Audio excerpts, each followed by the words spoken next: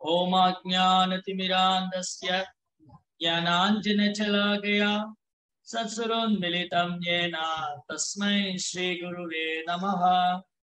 नमो विष्णुपादाय कृष्णप्रेष्ठाय भूतले श्रीमदे भक्तिवेदान्त स्वामी नामिने नमस्ते सारस्वती देवी गौरवाणी प्रचारिणे। विशेष शून्यवादी पाश्चात्य देशतारिणे जय श्री कृष्ण चैतन्य प्रभु नित्यानंद श्री अद्वैत गदाधर श्रीवासति गौर भक्त वृंद हरे कृष्ण हरे कृष्ण कृष्ण कृष्ण हरे हरे हरे राम हरे राम राम राम हरे हरे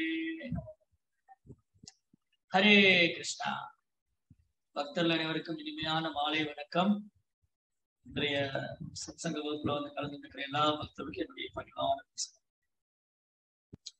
அப்போ கடந்த சில தினங்களாக பக்தர்கள் எல்லாரும் ஒன்று சேர்த்து ஸ்ரீமத் பாகவதத்தினுடைய ஆஹ், வாட்ஸ்அப் குழு அமைச்சு அதுல பாகவத பாராயணம் தினமும் ஒரு மணி நேரம் பாகவதம் படிச்சுட்டு ரொம்ப அற்புதமான ஒரு கைங்கரியம். நித்தியம் பாகவத சேவையா? நஷ்டப்பிராயேஷு அபத்ரேஷு நித்தியம் பாகவத சேவையா பகவதி உத்தம ஸ்லோகே பக்தி பவதி நஷ்டம். நஷ்டப்பிராயேஷு அபத்ரேஷு அபத்ரா சுபத்ரா அபத்ரா சுபத்ரா அப்படின்னா மங்களம் ஆஸ்பீசியஸ் அபத்ரன்னா அழுக்குகள் அமங்கலம். அப்ப நம்ம ஹிருதயத்துல படிச்சக்கூடிய அழுக்குகள். எப்ப போகும்? உங்க நிறைய அழுக்குகள்லாம் படிச்சிருக்கு காம குரோதா லோபம் மோக மத மாசல்யம் காமம் கோபம் பேராசை பொய்யகாரம் தற்பெருமை கௌரவம் பொய் கௌரவம் அறியாமை இதெல்லாம் தான் அபத்ரம் நஷ்டப்பிராயேஷு அபத்ரேஷு. நித்தியம் பாகவத சேவையா? தினமும் பாகவத சேவை. ரெண்டு பாகவத சேவை. ஒன்று புத்தக பாகவத சேவை இன்னொரு பக்தர் பாகவத சேவை. இந்த ரெண்டுமே புனிதமானதான் ஏன்னா அது ரெண்டுமே பகவானோட சம்பந்தம். புத்த பாகவதும் பகவான லீலைகள் பக்தர் பாகவதர் அதை நடைமுறையில வாழக்கூடிய பாகவதம் ரெண்டுமே பகவானோட சம்பந்தப்பட்டிருக்கிறதுனால ரெண்டுமே சேவை. அஷ்டபிராயேஷ் அபத்ரேஷ் நித்தியம் பாகவத் சேவை பகவதீர் உத்தம ஸ்லோகே. இந்த தெய்வீகமான ஸ்லோகங்கள் பக்தி பவதி நமக்கு தூய பக்தி. ஸ்ரீமத் பாகவதம் தூய பக்தி தொண்டு தரக்கூடியது. அதனால பக்தர்கள்லாம் ரொம்ப உற்சாகமாக இந்த பாகவத பாராயணம் தினமும் வாட்ஸ்அப் குழு அமைச்சு குரூப் அமைச்சு அதுல ஜூம் மீட்டிங்ல ஜூம் மீட்டிங் கனெக்ட் பண்ணி அந்த ஜூம் மீட்டிங்ல எல்லாரும் சேர்ந்து பாகவதம் படிக்கிறது நல்ல ஒரு ஆரோக்கியமான முன்னேற்றம். ஏன்னா எல்லா நாளும் பக்தர்கள் நேரில் சந்திச்சுக்க முடியாது. கிரகஸ்த வாழ்க்கை இல்லற வாழ்க்கையில் இருக்கிறவங்களுக்கு பல்வேறு வேலைகள் இருக்கிறதுனால அவங்களுக்கு நேரம் கிடைக்கும் போது தான் கோயிலுக்கு வராங்க சேவை பண்றதுக்கு வராங்க. அப்ப இந்த மாதிரி காலையில வேலையெல்லாம் முடிச்சுட்டு அவங்க எல்லாரும் சேர்ந்து ஹரே கிருஷ்ணா ஹரே கிருஷ்ணா. காலையில இந்த வேலையெல்லாம் முடிச்சுட்டு அவங்க பாகவதம் படிக்கிறது ரொம்ப ஆஸ்பீசியஸ் காலையில பாகவத வகுப்புல கலந்துக்கிறதும் நஷ்டப்பிராய பேசிட்டு இருக்கேன் கொஞ்சம் இது. நித்தியம் பா நித்தியம்னா டிசிப்ளின் பாகவத வகுப்ப டிசிப்ளின் ஒழுக்கமாக கற்றுக்கொள்வது. பிரபுபாதரன் டிரான்ஸ்லேட் பண்ணியிருக்காரு நித்தியம் பாகவத சேவையா? ஒழுங்காக பாகவத வகுப்புகள். சரி பாகவத வகுப்பு தானே அது தினமும் நடக்க தானே செய்யுது அப்படின்னு நினைக்காம இது இந்த பாகவதம் எனக்கு பகவான் மேல அன்பு தரக்கூடியது. இந்த பாகவதம் எனக்கு பகவான் மேல பக்தி தரக்கூடியது. இந்த பாகவதம் எனக்கு கிருஷ்ண பிரேமம் தரக்கூடியது. இந்த பாகவதம் எனக்கு ஆனந்தம் தரக்கூடியது. இந்த பாகவதம் அமிர்தம். பாகவதம் வந்து நெக்டர் அமிர்தம். அதனால அது பிரபுபாவுடைய விளக்கங்கள் இதெல்லாம் ரொம்ப அமிர்தம் போல. அதனால பிரபுபா என்ன சொல்றாரு? கஷ்டம் அந்த அந்த வார்த்தைகளுக்கு மிக அழகாக பிரபுபா மொழிபெயர்ப்பு செஞ்சிருக்காங்க பாகவதம் இட்சல் பாகவதமே சொல்லியிருக்கு. நித்தியம் பாகவதம் சேவை அது உபன்யாசகர் வந்து காத்துட்டு இருக்கணும். அதுக்கப்புறம் எனக்கு அந்த வேலை இருக்குது இந்த வேலை இருந்தது எல்லாம் இல்லாம ப்ரியாரிட்டி முக்கியத்துவம் தரும். எப்படி நம்மளுடைய பௌதிக வேலைகளுக்கெல்லாம் நம்ம முக்கியத்துவம் தரமோ அதுபோல் பாகவதத்துக்கு மிக முக்கியத்துவம் தரும் பௌதிக வேலைகளுக்கு முக்கியத்துவம் தரமோ இல்லையோ பாகவதத்துக்கு ரொம்ப முக்கியத்துவமான வேலை. அப்படி என்னதான் பாகவதத்துக்கு ஏன் பாகவத்துக்கு அவ்வளவு முக்கியத்துவம்? பாகவதம் வைஷ்ணவானாம் பிரியம். அது வைஷ்ணவர்களுக்கு மிக பிரியமானது. பாகவதத்துல பகவானுக்கு பக்தனுக்குள்ள அன்பு பரிமாற்றம் அன்பு பரிமாற்றம். அதனால இது ஒரு நல்ல முயற்சி. ஒழுங்காக தவறாமல் பாகவத வகுப்புல கலந்து கொள்றது. ஒழுங்காக தவறாம பாகவதம் பாராயணம் செய்யறது படிக்கிறது. இது நம்மள பக்தியில அடுத்த கட்டத்துக்கு எடுத்துப்போம் பக்தி தொண்டுல நம்மள அடுத்த கட்டத்துக்கு அடுத்த கட்டத்துக்கு நம்ம அனுபவங்கள் கொடுத்துட்டே இருக்கும். ரியலைசேஷன்ஸ் அனுபவம். நம்ம பக்தி பண்றோம். அனுபவபூர்ணமான பக்தி செய்யறோமா? ரியலைஸ் ரியலைசேஷன் அனுபவம் கிடைக்குதா? அதை உணர்ந்து செய்யறோமா? அந்த உணர்வும் அனுபவமும் பாகவதர்கள் சங்கத்துல வரும்போது புஸ்தக பாகவதம் பக்தர் பாகவதம். இந்த ரெண்டும் நமக்கு அனுபவங்கள் கொடுக்கும். புஸ்தக பாகவதற்கு அதுக்கு விளக்கம் கொடுத்த பக்தர் பாகவதர் பிரபுபாதர். அப்ப பாகவதம் படிக்கும் போது ரெண்டு பேரோட அசோசியேஷன் நமக்கு கிடைக்கும். கிருஷ்ணாவுடைய சங்கமும் கிடைக்குது பிரபுபாவுடைய சங்கமும் கிடைக்கும். பாகவதம் படிக்கிறதுல இம்பார்ட்டன்ட் என்ன முக்கியத்துவம் என்னன்னா பாகவதம் கிருஷ்ணருக்கு வேறானதல்ல கிருஷ்ணருடைய இலக்கிய அவதாரம் லிட்டரரி இன்கார்னேஷன் அதனால பாகவதம் படிக்கும்போது என்னன்னா கிருஷ்ணாவோடு நம்ம டைரக்டா நேரடியா உறவு கொள்ளும் யார் கையில பாகவதம் இருக்கோ யார் பாகவதம் படிக்கிறாங்களோ அவங்க கிருஷ்ணனோட நேரடியாக சம்பந்தம். ரெண்டாவது அதுல பிரபுபாவுடைய விளக்கங்கள் பிரபுபாடுடைய இன்ஸ்ட்ரக்ஷனுடைய அவருடைய உபதேசங்கள் விளக்கங்கள் நேரடியா நமக்கு கிடைக்கும். அது வந்து பக்தர்கள் குலாம்ல வந்து பண்ணும்போது அது உற்சாகம் அப்புறம் ஆனந்தம் அப்புறம் ஒரு நல்ல மன நிறைவு இதெல்லாம் கிடைக்கும் அதெல்லாம் உங்களுக்கு கிடைக்கும் நான் எதிர்பார்க்க நம்புறேன். அப்போ இந்த பாகவதத்துல மிக அழகாக நீங்க ஒவ்வொரு நாளும் தினமும் காலையில பாகவதம் படிக்கிறீங்க. இப்ப கடைசியா நீங்க படித்து முடிஞ்ச அத்தியாயம் பீஷ்ம ஸ்துதி. பீஷ்மாவுடைய பிரார்த்தனைகள். மிக அழகழகான பிரார்த்தனை. நம்ம கூட காலையில பாகவத வகுப்பு குந்தி ஸ்துதி குந்திமாவுடைய பிரார்த்தனை படிச்சிருக்கோம். பாகவத வகுப்பு பாகவத பாராயணம் ரெண்டு நடக்குது. பாகவத வகுப்புல குந்தி ஸ்துதி நடந்துட்டு இருக்கு. பாகவத பாராயணம் பாகவதம் படிக்கிறது பீஷ்ம ஸ்துதி. ஒரு நிமிஷம். ஹரே கிருஷ்ணா கொஞ்சம் மெதுவா பேசு. அப்போ ரெண்டு விஷயம். ஒண்ணு குந்தி ஸ்துதி இன்னொன்னு பீஷ்ம ஸ்துதி குந்தி மகாராணி பிரார்த்தனைகள் காலையில பாகவத வகுப்பு நடக்குது பாகவதம் படிக்கிறத வந்து பீஷ்ம ஸ்துதி முடிச்சிருக்கு முப்பது விதமான பக்தி தொண்டுல நவவித பக்தியில ஒரு அங்கம் ஒன்று வந்து ஆஃபரிங் பிரேயர்ஸ் வந்தனம் பிரார்த்தனைகளை சமர்ப்பிக்கிறது பகவானுக்கு பகவான் ஸ்ரீ கிருஷ்ணர்கிட்ட ஒன்பது விதமா பக்தி தொண்டு செய்யலாம் பக்தி தொண்டை வந்து கிருஷ்ணாவுக்கு ஒன்பது நிலைகள்ல ஒன்பது வகையில செய்யும். ஸ்ரவணம் கீர்த்தனம் விஷ்ணு ஸ்மரணம் பாதசேவனம் அர்ச்சனம் வந்தனம் தாசியம் சக்கியம் ஆத்மநிவேதம் அதுல முதலாவது முக்கியமாக ஸ்ரவணம் அப்புறம் கீர்த்தனம். ஸ்ரவன் கீர்த்தன் பண்ணத விஷ்ணு ஸ்மரணம். இப்ப இங்க என்ன என்ன நடக்குது? நான் பேசிட்டு இருக்கேன் நீங்களே கேட்டுட்டு இருக்கீங்க. அப்ப ஸ்ரவன் கீர்த்தன் ரெண்டுமே நடக்குது. இதுக்கு அடுத்தது விஷ்ணு ஸ்மரணம். என்று தூங்கும் போது ஓ இன்னைக்கு இதெல்லாம் சொன்னாங்க. பீஷ்மரை பத்தி இதெல்லாம் படிச்சோம். பாகவத்தை பத்தி தெரிஞ்சுக்கிட்டோம். இது பிசினஸ் பண்ணோம் அதுக்கப்புறம் பகவான் முன்னாடி வந்து அப்படி பிரார்த்தனைகள் செய்யணும். அப்ப எந்த மாதிரி பிரார்த்தனையை செய்யணும்? பகவான் கிட்ட எப்படி பிரார்த்தனை செய்யறது? அப்படின்னு கத்துக் கொடுக்கறதுக்காக இந்த பிரார்த்தனைகள். பீஷ்ம ஸ்துதி குந்தி ஸ்துதி பிரகலாத ஸ்துதி அப்புறம் ருத்ர கீதம் கோபிகா கீதம் பிக்ஷு கீதம் ஹம்ச கீதம் பிரம்மாவுடைய ஸ்துதி பிரம்மாவுடைய பிரார்த்தனைகள் கருவில் இருக்கும் கிருஷ்ணருக்கான தேவர்களுடைய பிரார்த்தனைகள் வேதகளில் பிரார்த்தனைகள் இந்த மாதிரி பாகவதம் முழுவதுமே பிரேயர்ஸ் பாகவதம் முழுவதும் பிரார்த்தனைகள் தான். பிரார்த்தனைகள். அப்ப இன்னைக்கு பெரும்பாலும் எல்லாருமே கடவுள்கிட்ட பிரார்த்தனை செய்யறாங்க ஆனா அவங்க பிரார்த்தனைகள்ல பெரும்பாலும் பௌதீக விஷயங்கள் தான் பயமா இருக்கு. அது பக்தியினுடைய ஆரம்ப நிலை. பக்தியின் ஆரம்ப நிலையில பக்குவம் அடையாத நபர்கள் அவங்க இறைவன்கிட்ட வந்து பிரார்த்தனை செய்யலாம் கடவுள் அதை ஏற்றுக்கொள்ளவும் செய்யற இறைவன் எப்படின்னா ஒரு கருணை வாய்ந்தவர். அவர் எப்படி கருணை வாய்ந்தவர்? அவரு அவர் எப்படி வந்தாலும் ஏத்துக்கிறார். அந்த நான்கு விதமான நபர்களையும் கிருஷ்ணர் ஏற்றுக்கொள்றார். அவரை சன்னகதி பண்ணக்கூடிய நான்கு விதமான நபர்- நபர்கள். சதுர்விதா பஜதேமம் ஜனா சுக்கிருதினோ அர்ஜுனா ஆர்த்தோ ஜிக்யாசு அர்த்தார்த்தி ஞானிச்ச பரமேஸ்வரன் சதுர்விதா நான்கு விதமான நல்லோர்கள் சுகிருதி சுகிருதினா நல்லவங்க।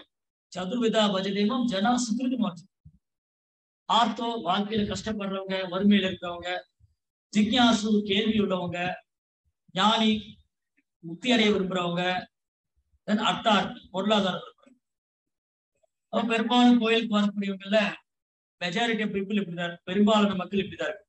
ஒரு வகையில வாழ்க்கையில கஷ்டப்படுறவங்களாவோ இல்ல பொருளாதாரத்தை விரும்புறவங்களாவோ இல்ல பல்வேறு கேள்விகளை தேடி அதுக்கான பதில் தேடி வரக்கூடியவங்களாவோ இல்ல எனக்கு இந்த பிறப்பிறப்ப வேண்டாம் அப்படின்னு நினைக்கிறோம் இந்த மாதிரி இது வந்து ஜென்ரலான பிரேயர் பொதுவான பிரார்த்தனை. இந்த பிரார்த்தனை ஆரம்ப நிலை. கடவுள் இடத்துல வந்து தன்னுடைய தேவைகளுக்காக பிரார்த்தனை செய்யும் அப்படி உங்க அந்த பிரார்த்தனையை தொடங்கும் போது படிப்படியா அவங்க பக்தருடைய சங்கத்துல வந்து பாகவதம் படிக்கும்போது எப்படி பிரார்த்தனை செய்யணும்னு பாகவதம் கத்து எப்படி பிரார்த்தனை செய்யணும்? அந்த பிரார்த்தனையுடைய உள்நோக்கம் என்ன? என்னவா இருக்கணும்? பிரார்த்தனைக்கான ப்ரொசீஜர் என்ன? எந்த மாதிரி பிரார்த்தனை செய்யணும்? அப்படின்னா மிக அழகாக பாகவதம் கத்து அப்ப இந்த பீஷ்மருடைய பிரார்த்தனையில பார்த்தோம்னா மொத்தம் பதினோரு ஸ்லோகம் முப்பத்தி ரெண்டுல இருந்து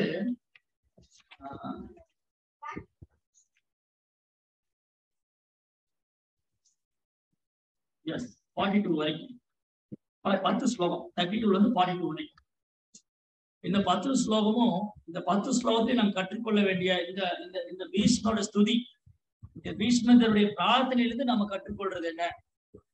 இதை நம்ம நடைமுறையில லைஃப்ல நம்ம அன்றாட வாழ்க்கையில எப்படி இதை அப்ளை பண்ண போறோம்? எப்படி இதை வந்து பயிற்சி செய்ய போறோம்? பீஷ்மனுடைய பிரார்த்தனையுடைய மைய கருத்து என்ன? அந்த பிரார்த்தனை எனக்கு பொருத்தமாகுமா? நானும் அந்த பிரார்த்தனையை செய்ய முடியுமா? அந்த பிரார்த்தனையை நடைமுறையில நான் எப்படி வந்து பயிற்சி செய்ய போறேன்? இது எப்படி எனக்கு ஹெல்ப்ஃபுல்லா இருக்கும்? என்னுடைய ஆன்மீக முன்னேற்றத்துக்கு நான் கிருஷ்ண பக்தியில அடுத்த கட்டத்துக்கு போறதுக்கு இந்த பிரார்த்தனை எப்படி எனக்கு உதவு அப்ப இது ஒண்ணு அனலிஸ்டிக்கா சிஸ்டமேட்டிக்கா படிக்கலாம். அப்புறம் பின்னாடி வரும் உபன்யாசங்கள் இந்த ஓரல் ஸ்லோகத்தை எடுத்து கூட நம்ம முழுமையா குழுப்பாடைய புல்லுரை எடுத்து சொல்லியிருக்காங்க அப்படிங்கிறதும் தரமாக தெரிஞ்சுக்கலாம். ஃபர்ஸ்ட் ப்ரேயர் ஸ்ரீ பீஷ்ம உவாச்ச इति मयोपकल्पिता कृष्णा भगवते सात्पदं पुम्बे विभूम्नि स्वगम् उपगदे क्वचित् कर्तुं प्रकृतिमुपेक्षूयुत् भवप्रवाहः यत् பவப்பிரவாக விஷ்ணுதேவர் கூறினார் இதுவரை வெவ்வேறு விஷயங்களிலும் கடமைகளிலும் ஈடுபட்டிருந்த எனது சிந்தனை உணர்வு மற்றும் விருப்பம் ஆகியவற்றை இப்பொழுது நான் சர்வசக்தி படைத்தவரான பகவான் ஸ்ரீ கிருஷ்ணரின் கிருஷ்ணரில் ஈடுபடுத்துவதாக அவர் எப்பொழுதும் சுய திருப்தி உடையவர் ஆவார் ஆனால் அவரிடமிருந்துதான் பௌதிக உலகம் படைக்கப்படுகிறது என்றாலும் அவர் பக்தர்களின் தலைவராக இருப்பதால் பௌதி உலகில் அவதரித்து தெய்வீக இன்பத்தை அவர் அனுபவிக்கிறார். பாருங்க இந்த ஃபர்ஸ்ட் பிரேயர்ல எந்த பௌதிக நோக்கம் இல்லை. எதற்காகவும் பிரார்த்தனை செய்யல. அஹ் அவருடைய ஆயுள் ஆரோக்கியத்துக்காக வேண்டியோ அல்லது குடும்பத்தாருக்கு வேண்டியோ அல்லது பௌதிக சுகத்துக்காக வேண்டியோ எதுவுமே இல்லை. சோ இந்த பிரார்த்தனை நேரடியா கிருஷ்ணா யாரு? கிருஷ்ணர் யாரு? ஃபர்ஸ்ட் கிருஷ்ணர் யாரு? நம்ம என்ன செய்யணும்?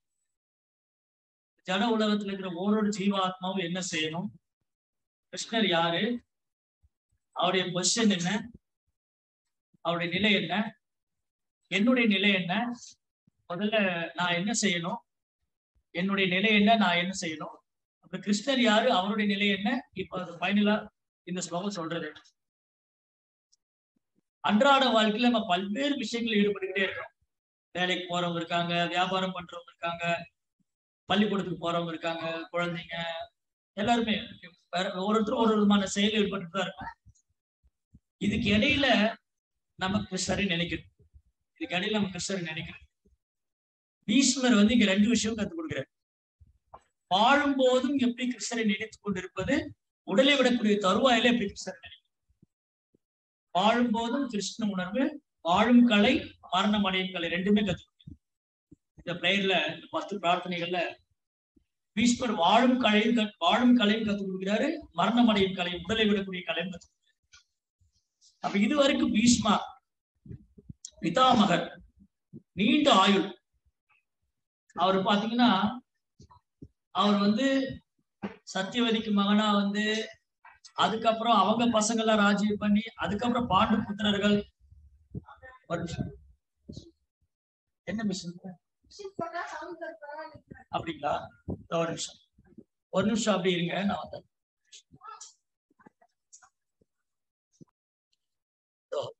பீஷ்மர் வந்து அவருக்கு இச்சா மரணம். அவர் விரும்பும் போது இந்த உடலை விடலாம். நீண்ட ஆயுள். அவர் சத்தியவதிக்கு மகனாக வந்து அதுக்கப்புறம் திருதராஷ்டருடைய தந்தையார்கள் அவங்களுடைய அந்த சித்ராங்கதன் சித்திராங்கதன் விசித்த வீரியா அவங்களுடைய லைஃப் அதுக்கப்புறம் திருதராஷ்டர் அதுக்கப்புறம் பாண்டவர்கள் இப்படி ஒரு மூணு ஜென்ரேஷன் மூணு நாலு ஜென்ரேஷன் கண்டினியூவா அவர் இங்க இருந்தாங்க. ஸோ அது நம்ம இன்னொரு நாள் பீஷ்மனுடைய லைஃப் டீட்டெயிலாக படிக்கலாம். ஸோ இப்படி பீஷ்மா அவர் இங்க வாழும் கலையும் கற்றுக் கொடுத்தாரு. மரணம் அடையும் கலையும் கற்றுக் கொடுத்தாரு. எப்படி ஒரு ஒரு மனிதன் எப்படி வேத நியமங்களை பின்பற்றி தர்மத்தின்படி வாழ்றது? இறுதியில அவர் பகவான் அடையிறது. அவருடைய மரணத்து தருவாயில அவர் பகவானை நினைக்கணும். அப்ப வாழும்போதும் கிருஷ்ணரை நினைக்கணும் உடலை விடக்கூடிய தர தருவாயத்திலும் கிருஷ்ணரை நினைக்கணும். ரெண்டு தர்மம். பீஷ்மர் வந்து ஒரு சத்திரியனுக்கு உண்டான தர்மத்தையும் ஃபாலோ பண்ணாரு. எல்லாத்துக்கும் மேல பரோ தர்மம். அவர் பகவானுக்கு பக்தி தொண்டும் செஞ்சார்.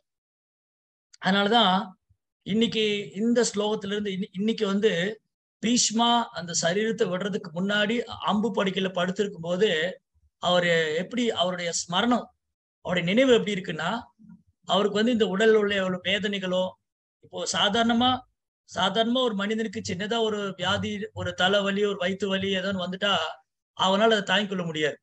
சின்னதா வந்துட்டாலே உடனே நம்ம டாக்டர்கிட்ட போயிடுறோம் மருந்து மாத்திரை சாப்பிட்டுக்கிறோம் அந்த அளவுக்கு நம்ம வந்து இந்த உடலால வரக்கூடிய வேதனைகள் இந்த உடலால வரக்கூடிய பிரச்சனைகளை நம்மளால தாங்கிக் கொள்ள முடியல. பீஷ்மருடைய உடல் முழுதும் அம்புகளால தைக்கப்பட்டிருக்கு. அவர் கர்லான் குஷன் பெட்ல படுத்திருக்கல. அவர் சாப்பிட்டு பெட் ரொம்ப மிருதுவான பட்டு மெத்தையில படுக்கல. அவர் அம்பு படுக்கையில படுத்திருக்காரு. அந்த அம்பு படுக்கையில படுத்துக்கிட்டு அந்த நேரத்துல கூட அவர் கிருஷ்ணரை நினைக்கிறார். கிருஷ்ணாவை நினைக்கிறார். இந்த அம்பு படுக்கையில படுத்துட்டு இப்போ ஓகே மகாபாரத யுத்தம் முடிஞ்சுது. யுதிஷ்டர் மன்னராக போறாங்க. இனி நான் இனி என்ன எல்லாம் இனி எல்லாமே கிருஷ்ணர் கிருஷ்ணாவுடைய விருப்பப்படி பாண்டவர்கள் தான் இந்த உலகத்தை ஆள போறாங்க. அதனால இனி எல்லாமே நல்லபடியா நடக்கும். நான் வந்து என்னுடைய கடமையை முடிஞ்சுது. நான் இங்க வந்தேன் இந்த பூமியில நான் வந்து கடமை முடிச்சுது அதனால நான் இந்த உடலை விட தயாராயிட்டேன். கிருஷ்ணர் பீஷ்மர் வந்து அந்த உடலை விட தயாராயிட்டார். அப்ப உடலை விடக்கூடிய தருவாயில இது வரைக்கும் என் என்னுடைய மனம் என்னுடைய மனம் வந்து வேறு ஒரு விஷயங்களையும் கடமைகளும் எனக்கு வந்து சத்திரிய கடமை பல்வேறு ரெஸ்பான்சிபிலிட்டி பீஷ்மர் வச்சிருந்தார். அரசியல் கடமைகள் இருந்தது அவருக்கு உண்டான நிறைய கடமைகள் வச்சிருந்தாரு. இதுலெல்லாம் என் மனசு போயிட்டு இருந்தது இனி அதெல்லாம் வேண்டாம். ஸ்டாப் பண்ணிடும். நிறுத்திட்டு என்னுடைய மனம் சிந்தனை உணர்வு இதெல்லாம் கிருஷ்ணர் மேல நிறுத்தட்டும். கிருஷ்ணா கிருஷ்ணாவுடைய கிருஷ்ணா மேல நான் ஸ்டாப் நிறுத்துறேன். ஃபோக்கஸ் பண்றேன் அப்ப அவருடைய அவருடைய அவருடைய கான்சியஸ்னஸ் உணர்வு வந்து கிருஷ்ணர் மேல திருப்புறாரு. இது வரைக்கும் எதோ அரசியல்வாதத்துல இருந்து இருந்தாரு. ஆனா இப்ப அந்த உடலை விடணும் முடிவு பண்ணிட்டாங்க. அப்போ அந்த நேரத்துல அவர் கிருஷ்ணரை நினைக்கிறாரு. அந்த நேரத்துல அவர் கிருஷ்ணரை நினைக்க முடிஞ்சதுன்னா அவர் லைஃப் டைம்ல அவர் வாழ்நாள்ல கிருஷ்ணரை நினைக்கல கிருஷ்ண கிருஷ்ண பக்தி பண்ணலைன்னா அவரால் அதை பண்ண முடியாது. அப்ப பீஷ்மர் என்ன பண்றாங்க? அதை நம்ம கத்து கொடுக்குறாங்க. வாழும்போது கிருஷ்ண உணர்வுல இருக்கிற ஒருவரால அந்த உடலை விடக்கூடிய நேரத்துல கிருஷ்ணர் மேல மனதை நிறுத்தவும் மனதை நிறுத்த வேண்டும். அதை நிறுத்த வேண்டும். இது நம்ம பழகிக்கணும்.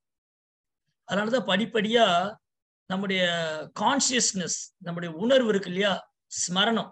அது தினமும் நான் எவ்வளவு நேரம் கிருஷ்ணரை நினைக்கிறேன் அப்படின்னு நம்ம வந்து நம்ம வாட்ச் பண்ணிக்கிட்டே இருக்கு நம்மளை வந்து நம்ம மெஷர் பண்ணிக்கிட்டே இருக்கோம். அளக்கணும்.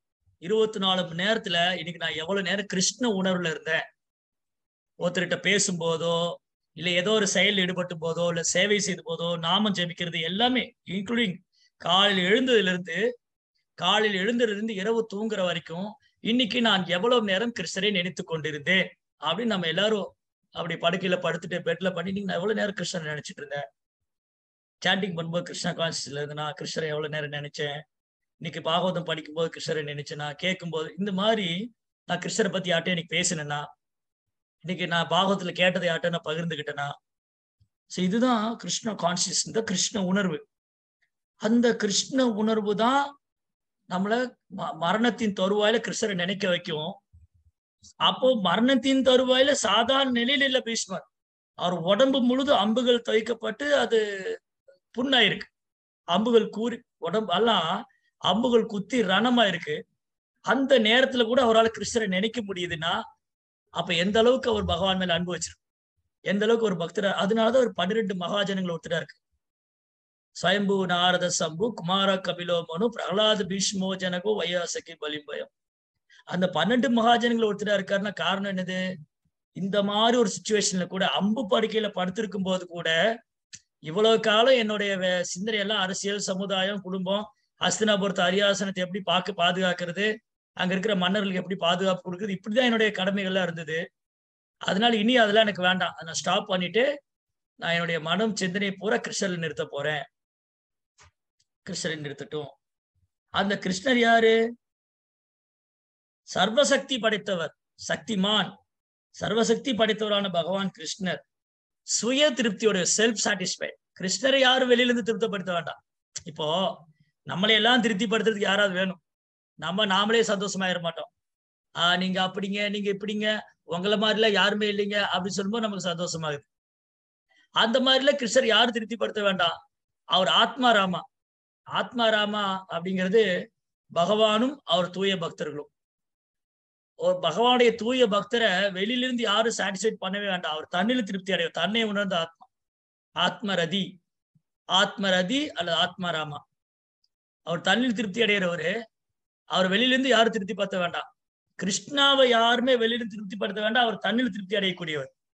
அந்த கிருஷ்ணருக்கு தூய பக்தி தோண்டக்கூடிய பண்ணக்கூடிய பக்தரையும் வெளியிலிருந்து யாரும் திருப்தி படுத்த வேண்டாம். அவர் பகவானுடைய சேவையிலேயே திருப்தி அடைஞ்சார் அவர் தன்னில் திருப்தி அடைகிறார்.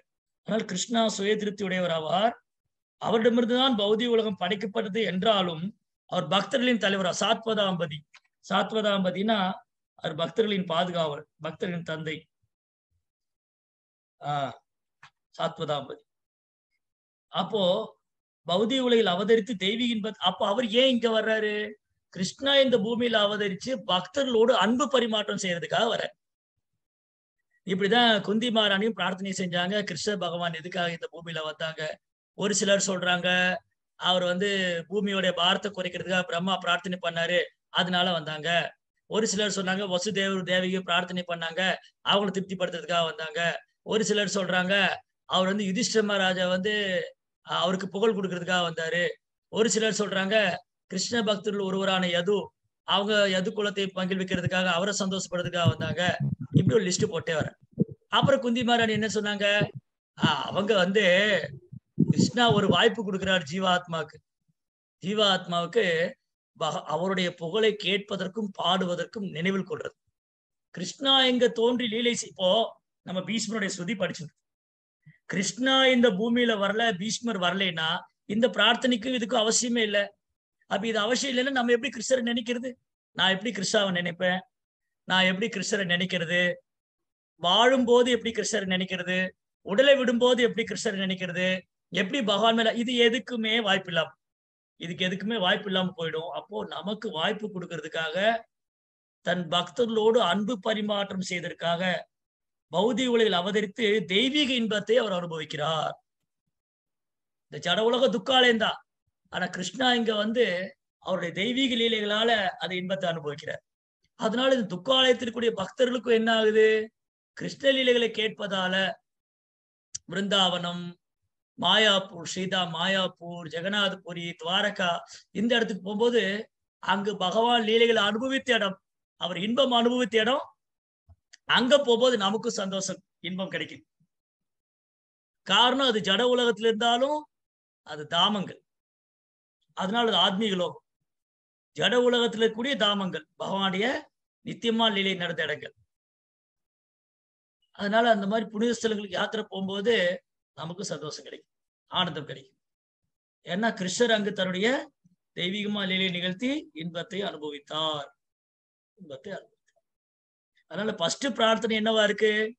முதல் பிரார்த்தனையே என்னுடைய பௌதிக கடமைகளை நான் விட்டு விட வேண்டும். பீஷ்மர் ரொம்ப வயது முதிர்ந்தவர். அதனால இது வரைக்கும் நான் எதோ பண்ணிட்டேன். அதனால எல்லாத்தையும் விட்டுறேன். ஸ்டாப் எல்லாத்தையும் கம்ப்ளீட்டா ஸ்டாப் பண்ணிட்டு அந்த பரம புருஷோத்தமனான பக்- பக்தர்களின் பாதுகாவலனான பகவானை நான் தியானிக்கின்றேன். என் மனம் அவர் மேல் பதியட்டும். அப்ப நம்ம என்ன பண்றது? இப்ப இன்னைக்கு இங்க வந்திருக்கிற எல்லாம் பெரும்பாலும் கிரகஸ்த பக்தர்கள் அப்போ ஏறக்குறைய எல்லாருமே கிரகஸ்த பக்தர்களா இருக்கிறதுனால அவங்க அப்படி எல்லாத்தையும் விட்டுட முடியாது. ஆனா ஆனா கிருஷ்ணர் சொன்ன மாதிரி அவங்க கிருஷ்ண உணர்வுல செயலாற்றலாம். தஸ்மா சர்வேஷு காலேஷு மாமனுஸ்மர யுத்தியச்ச மையற்பித மனோ புத்திர் மாமே வைசசி அசம்சையா. சந்தேகமே வேண்டாம் அர்ஜுனா நீ எப்போதும் உன் மனதில் என்னை நினைத்துக் கொண்டு உன் மனம் புத்தி என்னில் நிறுத்தி எனக்காக நீ செயலாற்றுவையானால் உன்னுடைய கடமையை செய்யும் போது நீ என்னை நினைத்து கொண்டே செய்வாயானால் கட்டாயம் நீ என்னை வந்து அடைவாய். அதனால எண்ட் ஆஃப் த வாழ்க்கையினுடைய முடிவு வயோதிகம். வயோதிகம் வயோதிகத்தை நெருங்க நெருங்க நம்ம கொஞ்சம் கொஞ்சமா டிட்டாச்மெண்ட் ஆயிட்டே வரும். நான் எனக்கு வயது ஆக ஆக நான் என்ன ஆகணும் பௌதிகத்திலிருந்து என்னுடைய வேலைகளை குறைச்சிக்கிட்டே வரும். அதனாலதான் அரசாங்கத்துல கூட ஒரு குறிப்பிட்ட வயசுக்கு மேல ரிட்டையர்மெண்ட் கொடுத்துட்றாங்க. ரிட்டையர்மெண்ட் எதுக்காக? அவங்க புனித ஸ்தலங்களுக்கு யாத்திரை போகலாம் பகவானை நினைக்கலாம் அது மாதிரி. அதனால ஒரு குறிப்பிட்ட வயது வரைக்கும் தான் பௌதிக வாழ்க்கையில ஒரு குறிப்பிட்ட வயது வரைக்கும் தான் சில கடமைகள்லாம். அந்த கடமைகள் ஆற்றி கொண்டிருக்கும் போதும் கிருஷ்ணரை நினைத்து கொண்டிருக்க வேண்டும்.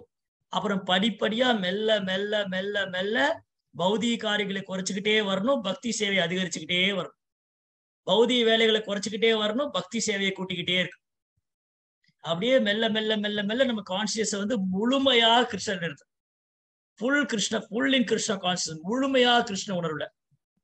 ஏன்னா பௌதிக வாழ்க்கை செயலில் ஈடுபட ஈடுபட கிருஷ்ணர் மேல நம்மளால மனதை நிறுத்துறது ரொம்ப கஷ்டம்.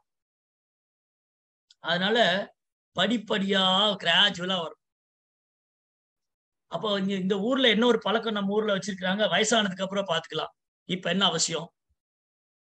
அது ஹரே கிருஷ்ணா பக்தர்ல பார்த்தா வெளியில உள்ளவங்களுக்கு எல்லாம் நீ தான் போன. சரி நீ தான் ஹரே ராமா ஹரே கிருஷ்ணான்னு போயிட்ட. உன் பொண்டாட்டியும் கூட்டிட்டு போயிட்ட. உன் பிள்ளைகளையும் கூட்டிட்டு குடும்பத்தோட போய் ஹரே ராமா ஹரே கிருஷ்ணா உட்காந்துட்டீங்களா ஞாயிற்றுக்கிழமையான உங்களை பார்க்கவே முடியலையே. அங்க போய் பஜனை மடத்துல உட்காந்து ஹரே ராமா ஹரே கிருஷ்ணன் என்ன இது?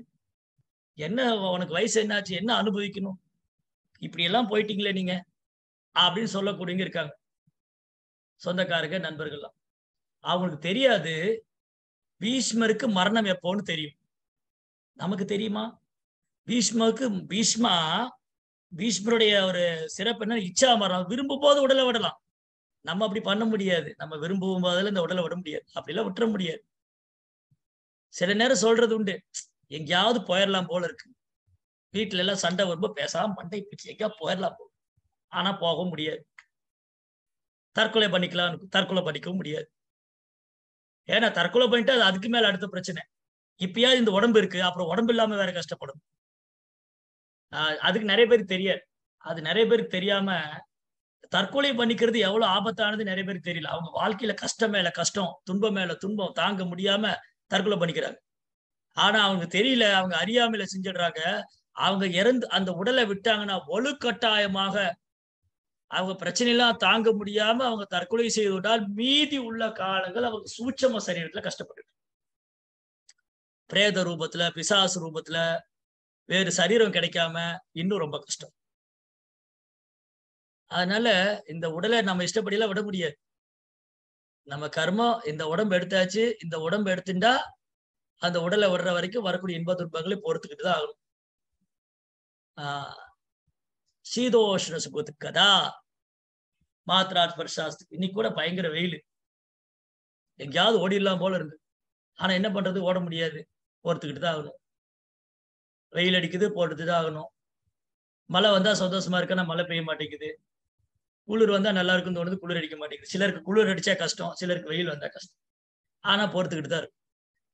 அந்த மாதிரி இந்த வாழ்க்கையில இன்ப துன்பங்கள்லாம் வரும். அதை பொறுத்துக்கு தான் வேணும். சகித்து கொள்ளதான் வேணும். ரெண்டாவது எனக்கு மரணம் எப்போன்னு தெரியாது. என்னுடைய மரணம் எப்போ நிகழப்போகுதுன்னு எனக்கு தெரியாது.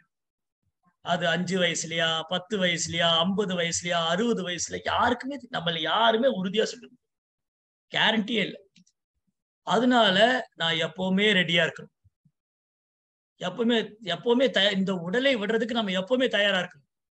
இந்த உடலை விடுறதுக்கு நான் எப்பவுமே தயாரா இருக்கணும்னா அந்த உடலை விடக்கூடிய நேரத்துல நான் கிருஷ்ணரை நினைக்கணும். அதுக்கும் நான் தயாரா இருக்கணும். அதுக்கு தான் பயிற்சி.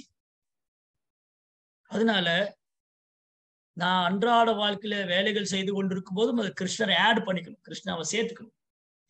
கிருஷ்ண உணர்வுலயே செயலாற்றணும். அதான் கிருஷ்ணர் சொல்ற தஸ்மா சர்வேஷு காலேஷு.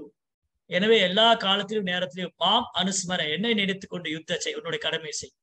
மையற்பித மனோபுத்தி உன் மனம் புத்தி எனக்கு அர்ப்பணித்து நீ செயல்படுவாயானால் மாமை வைசிசி அசம்சேக சந்தேகம் வேண்டாம் நீ என்னை வந்து அடைவாய். வித்தவுட் டவுட் அசம்சேகனா சந்தேகம் வேண்டாம். நீ கட்டாயம் என்னைய வந்து அடைவாய். திரிபுவன கமனம் தமால வர்ணம் ரவிகர கௌரவரம் அம்பரம் ததானே வபுரலக குலாவிரதானாப்ஜம் விஜய விஜய சகேரதிரஸ்து மே அன்னத்யா. அடுத்தது இந்த பிரார்த்தனையில கிருஷ்ணனுடைய அழகை வர்ணிக்கிறார். இந்த ஸ்லோகம் அடுத்த ஸ்லோகம். ரெண்டு ஸ்லோகத்திலையும் பீஷ்மா அந்த உடலை விடும்போது பகவானை தியானம் செய்து கொண்டு அவர் நினைத்து கொண்டு அவர் அவரு அவர் அந்த உடலை விடும்போது பகவானுக்கு வந்திருக்கார். அது இன்னொரு பியூட்டி இதுல என்ன அழகுன்னா பீஷ்மர் இந்த உடலை விடும்போது கிருஷ்ணாங்க ரெடி தயாரா வந்துட்டார். என் பக்தன் பீஷ்மன் சரீரத்தை விட போறார் நான் அவருக்கு போய் அனுகிரகம் பண்ணும் கிருஷ்ணா போஸ்ட்ல அங்க வர்றார். பவாமி ந சிர பிரார்த்தா மையாவே சிததீரசா என் பக்தருக்கு நான் உடனே வந்து அனுகிரகம் செய்யறேங்கிறார் வித்தவுட் டவுட் சந்தேகமே வேண்டாம். பீஷ்மர் உடலை விட போறாருன்னு கிருஷ்ணா அங்க வந்துட்டார். பாண்டவர்களை கூட்டிட்டு கிருஷ்ணர் வந்து வந்து நிக்கிறாரு. அப்ப பீஷ் பீஷ்மர் கிருஷ்ணருடைய அழக எவ்வளவு அழகா வர்ணிக்கிறாரு. இந்த கிருஷ்ணர் விஜய சகே ஆஹ் அர்ஜுனன் பார்த்த சகே அர்ஜுனுடைய நண்பன்.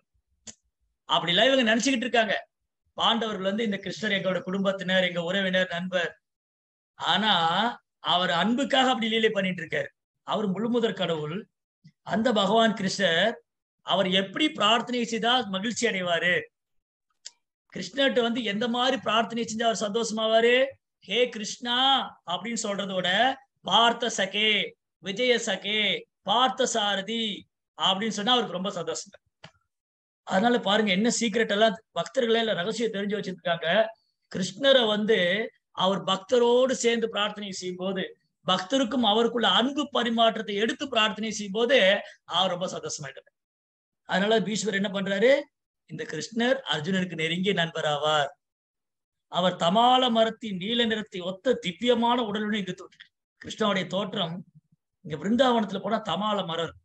அப்படி மு- இப்படி வளைஞ்சிருக்கும் கிருஷ்ணர் மாதிரியே. அந்த தமால மர மரத்துடைய வர்ணம் கிருஷ்ணருடைய நிறத்துலதான் தமால மரம் இருக்கும். அந்த நேரத்துல இருக்காரு.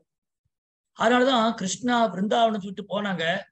மதுராவில போய் கம்சனை வதம் பண்ணிட்டு வரேன்னு போனாரு. போனவர் திரும்பவே இல்லை. இந்த கோபிகள்லாம் என்ன பண்ணுவாங்க? அந்த பிருந்தாவனத்துல நடந்து போகும்போது தமால மரத்தை பார்த்தோன்னா கிருஷ்ணருடைய ஞாபகம் வந்துடும் அப்படியே ஓடி போய் தமால மரத்தை கட்டி தழுவிக்குவாங்க. ஏன்னா அது கிருஷ்ணரை ஞாபகப்படுத்தும். தமால மரம் கிருஷ்ணரை போலே இருக்கும். அவரை ஞாபகப்படுத்து அதனால பிருந்தாவனத்து கோபிகள்லாம் போய் அந்த தமால மரத்தை கட்டி தழுவிக்குவாங்க. மூன்று கிரக அமைப்பில் உள்ளவர் அனைவரையும் அவரது உடல் கவர்ந்திருக்கிறது. கிருஷ்ணா கிருஷ்ணா செய்தி கிருஷ்ணா. கிருஷ்ணா எல்லாரையும் கவர்ந்திருக்கிறார். பளபளக்கும் மஞ்சள் நிற ஆடை மஞ்சள் நிற பட்டாடை உடுத்தியிருக்கார் பீதாம்பர ஆடை.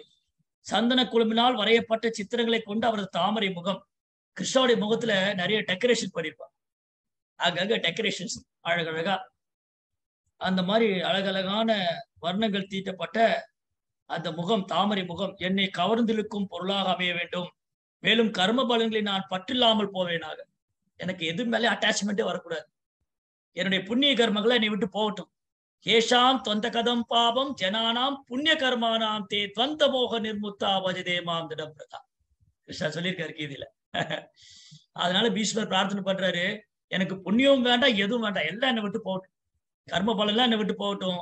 அந்த பகவானின் தாமரை திரும்போகம் மட்டுமே என் மனதில் பதிக்கிட்டு அதுதான் என்னை கவர்ந்திருக்கும் போது எனக்கு வேற எதுலயும் கவர்ச்சி வேண்டாம். வேறுக்கு எதுலையுமே எனக்கு கவர்ச்சி வேண்டாம். அந்த கிருஷ்ணர் மேலதான் எனக்கு கவர்ச்சி வரும். இது துரகரஜோ விதும்ர விஸ்வ கசலுலித சம்பிரவாரி அலங்கிருதாசியே மம நிச்சித சரைர் விவித்தியமான துவச்சி விலாசத்வச்சே அஸ்து கிருஷ்ணாத்மா. ஸ்நேகத்தினால் அர்ஜுனனுக்கு ஸ்ரீ கிருஷ்ணர் ஏவல் புரிந்த இடமான போர்க்களத்தில் குருஷேத்திரத்துல குதிரைகளின் குழம்புகளால் எழுப்பப்பட்ட தூசிகளினால் பகவான் ஸ்ரீ கிருஷ்ணரின் அலைபாயும் கேசம் சாம்பல் நிறமாக மாறியது. மேலும் அவரது பனியினால் விளைந்த வியர்வை முத்துக்கள் அவரது முகத்தை நனைத்தன. எனது கூறிய அம்புகளால் தைத்த காயங்களால் அதிகரிக்கப்பட்ட எல்லா அலங்காரங்களையும் அவர் அனுபவித்தார். என் மனம் ஸ்ரீ கிருஷ்ணனிடமே ஆழ்ந்து விடட்டும். இங்க மேலும் கிருஷ்ணனுடைய அழகை வர்ணிச்சுட்டு கிருஷ்ணருக்கும் பீஷ்மாவுக்கு இருக்கிற அந்த ரசம் அன்பு பரிமாற்றம். பீஷ்மா தன்னுடைய பலத்தினால கிருஷ்ணருக்கு சேவை பண்றாரு. தன்னுடைய வீரத்தினால கிருஷ்ணருக்கு சேவை பண்றாரு. அதை கிருஷ்ணர் அனுபவிக்கிறார். என்ன ஆச்சு யுத்தத்துல? ஓ, யுத்த பூமியில போனா என்ன நடக்கும்? அங்க ஃபுல்லா புழுதியா இருக்கும். அங்க பூரா புழுதியா இருக்கும். என்ன வேணும்?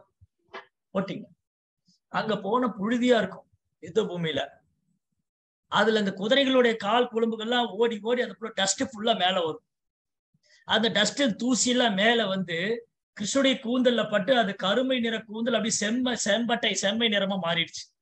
இதெல்லாம் அழக ரசிக்கிறார் கிருஷ்ணாவுடைய கூந்தல் கரும் கூந்தல் அப்படி அழகழகான சுருள் கூந்தல் கேசவன். அந்த கிருஷ்ணனின் கேசமானது என்ன ஆயிடுச்சு? இந்த குதிரை குழம்புகளால் எழுப்பப்பட்ட தூசியினால ரதத்தினுடைய வீல்ல இருந்து வந்த குதிரையுடைய குழம்புல இருந்து தூசி எல்லாம் அதிகரிச்சு அதிக மேல வந்து வந்து கிருஷ்ணனுடைய தலைமுடியெல்லாம் சாம்பல் நிறத்துல மாறிடுச்சு. ஆஹ் எழுப்பப்பட்டு சாம்பல் நிறமாக மாறிடுது அப்புறம் அங்க வெயில்ல உட்காந்துருக்காரு குருஷேத்திரத்துல அங்க ஒண்ணு ஏசி ரூம் எல்லாம் கிடையாது. கிருஷ்ணருக்கு வந்து ஏசி ரூம் எல்லாம் போட்டு தரல. அங்க குதிரையில உட்காந்துருக்காரு குதிரை வண்டியில அந்த ரதத்துல. அதெல்லாம் ஓட்டி உடம்பெல்லாம் டயர்டாகி முத்து முத்தா வேர்வை. கிருஷ்ணனுடைய உடல்ல முத்துக்கள் போன்ற வேர்வை. இதெல்லாம் பத்தாதுன்னு அந்த யுத்த பூமியில அவர் அர்ஜுனுடைய ரதத்துல பார்த்த சாரதி ஓ அவர் வந்து பார்த்த சாரதினா சாரதினா சும்மா இல்ல ஒண்ணும் இல்ல. சும்மா வண்டி ஓட்டுற வேலை மட்டும் இல்ல. இப்போ உதாரணத்துக்கு உங்க வீட்டுல யாராவது கார் வச்சிருக்கீங்கன்னு வச்சு காருக்கு ஒரு டிரைவர் போட்டு வெறும் டிரைவருக்கு கார் ஓட்டுற வேலை மட்டுமா தருவாங்க?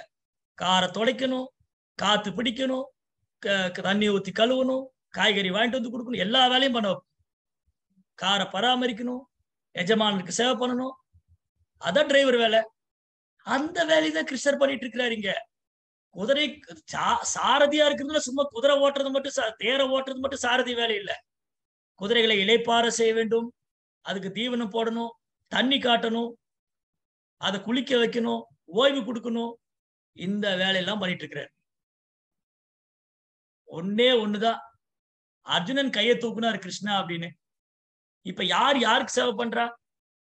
அர்ஜுனனா கிருஷ்ணருக்கு சேவை பண்ணிட்டு இருக்கிறாரு கிருஷ்ணர் தான் அர்ஜுனனுக்கு சேவை பண்ணிட்டு இருக்கிறாரு அந்த அதை வந்து அவர் அனுபவிக்கிறார். பக்தனுக்கு சேவை செய்து பகவான் அனுபவிக்கிறார். அவ பக்தனுக்கு சேவை பண்றது பகவான் அனுபவிக்கிறார்னா அப்ப நம்ம எந்த அளவுக்கு பக்தர்களுக்கு சேவை பண்ணணும்? பகவானே அதுல அவ்வளவு ஆனந்த அனுபவிக்கிறாரு. அப்ப நம்ம எப்படி எல்லாம் வைஷ்ணவர்ல கொண்டாடணும்? எப்படி எல்லாம் பக்தர்களுக்கு சேவை பண்ணணும்? இதெல்லாம் பத்தாதுன்னு குருஷேத்திர யுத்த பூமியில அந்த புழுதிகளுக்கு மத்தியில வெயில்ல உடம்பெல்லாம் வேறு வேறு முத்துக்கள்லாம் சேர்ந்து இது பத்தாதுன்னு பீஷ்மருடைய அம்புகள் தொய்த்து அவள் உடம்பெல்லாம் காயம் உடம்பெல்லாம் காயம். பீஷ்மர் சர மாறி அம்பு விடுறாரு. அந்த அம்புகள் எதுவுமே அர்ஜுன் மேல படாம அந்த அஸ்திரங்கள்லாம் கிருஷ்ணர் ஏத்துக்கிறார். ஏன்னா சாரதி மேலே அம்பு படும். ரதத்துல உட்கார்ந்துருக்காரு. சாரதி மேலே அம்பு படும். எனது கூறிய அம்புகளால் தைத்த காயங்களினால் அலங்கரிக்கப்பட்ட அந்த அந்த டெக்கரேஷன் அந்த காயம் எல்லாம் கிருஷ்ணருக்கு அலங்காரமா இருக்கிறத இருக்கிறதா பீஷ்மர் அனுபவிக்கிறார். அதை கிருஷ்ணரும் அனுபவிக்கிறார். இப்ப அடுத்து ஒரு கேள்வி வந்து. என்ன கேள்வி? கிருஷ்ணருக்கு தான் ஒரு ஆன்மீகமான உடல் ஆச்சு அதுக்கு எப்படி காயம் எல்லாம் ஆகும்? பௌதிக உடல்னா காயம் வரும். இப்ப நான் இந்த உடம்பு எடுத்திருக்கிறேன். எனக்கு காயம் வரலாம் ரத்தம் வரலாம் வேர்வை வரலாம். எனக்கு வேர்வை வரலாம் ஏன்னா என் சரீரம் பௌதீகம். எனக்கு காயப்படலாம் என் சரீரம் பௌதீகம். எனக்கு ரத்தம் வரலாம் என் சரீரம் பௌரீகம் பௌதீகம். கிருஷ்ணருடைய சரீரம் ஆத்மீகம். அப்படி இருக்கும்போது கிருஷ்ணருடைய உடம்புல எப்படி காயமாச்சு? பதில் தெரிஞ்சு கை தூக்கலாம் கிருஷ்ணனுடைய உடல் ஆன்மீகம்னா நித்தியமான சச்சிதானந்த விக்கிரகா நித்தியமான அறிவு நிறைந்த ஆன்மீக சரீரம் கிருஷ்ணாவுக்கு அந்த ஆன்மீக சரீரம் எப்படி பீஷ்மரால் அம்புகள் துளைக்கப்பட்டு ரத்தம் தோய்ந்தது? எப்படி அந்த சரீரத்தில் வேர்வை வேறையா முத்துக்கள் வந்தது? முத்துக்கள் போல வேர்வைகள் வந்தது? பதில் தெரிஞ்சும் கைத்தும் போச்சு எல்லாம் தூங்கிட்டாங்க போல இருக்கு.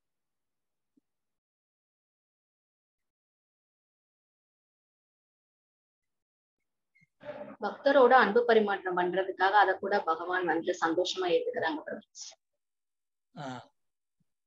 அப்ப அது சரீரம் பௌதியம் ஆயிடுச்சா? அப்ப கிருஷ்ணர் பௌ- அப்ப கிருஷ்ணர் பௌதிகமான சரீரம் எடுத்துக்கொண்டாரா விபரலம பாவத்தை இது பண்றதுக்காக ராமலீலையில தசரதனுக்கு சீதா மாதாக்கு ருக்மணி மாதாவுடைய அப்பா இறந்தப்ப கூட அழுகுவார் சத்யபாமுடைய அப்பா. அது மாதிரி அந்த இதை ரசிச்சு ஏத்துக்கிறாரு பிரபுஜி பகவான் ஓகே ரோகன் கிருஷ்ணா? ஹரே கிருஷ்ணன் ப்ரோ. பகவான் வந்து தன் பக்தர் கூட அன்பு பரிமாற்றம் பண்ணும்போது பகவான் வந்து அந்த மாதிரி லீலையை வந்து வெளிப்படுத்துறாருங்க ப்ரோ. அப்படின்னு நம்ம எடுத்துக்கலாங்க ப்ரோ. சாதாரண சொல்லுங்க.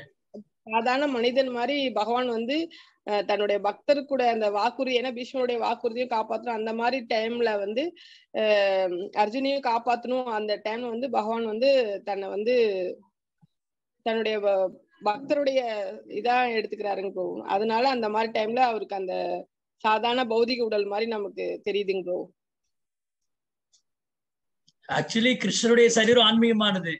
ஆனா அவர் இந்த உலகத்துல தோன்றி அசுரலை குழப்புவதற்காக அசுரலை குழப்புறதுக்கு இந்த மாதிரில லீலை நடக்கும். ஆஹ் கிருஷ்ணருக்கு காயம் ஆயிடுச்சு அவருக்கு உடம்புல ரத்தம் எல்லாம் வந்துச்சு அப்படின்னு அசுரர்கள் கிளைம் பண்ணலாம். ஆனா பக்தர்களுக்கு தெரியும் அவர் இது அனுபவிக்கிறாரு. கிருஷ்ணா வந்து அந்த லீலைகளை அனுபவித்துக் கொண்டிருக்கிறார். பீஷ்மருக்கு தெரியும் கிருஷ்ணா நான் என்னுடைய அந்த வீரம் என்னுடைய வீரத்தினால் என் வலிமையினால பண்ணக்கூடிய சேவையை கிருஷ்ணர் ஏத்துக்கொண்டு அதுக்கு அன்பு பரிமாற்றம் செய்யறாரு அப்படின்னு பக்தர்கள் புரிஞ்சுக்க முடியும். அதனாலதான் பகவான் லீலைகளை பக்தர் அல்லாததுனால புரிஞ்சுக்க முடியாது. அதனால கிருஷ்ணனுடைய சரீரம் பௌதிகமானது அல்ல நம்மளை போல வேர்வை துளிகளோ நம்மளை போல ரத்தமோ அல்ல கிருஷ்ணருடையது அது எல்லாம் ஆன்மீகமானது. அது வந்து பீஷ்மருக்கு ஆனந்தம் கொடுக்குது. அந்த பீஷ்மருடைய சேவையை ஏத்து கிருஷ்ணரும் அதை அனுபவிக்கிறாரு.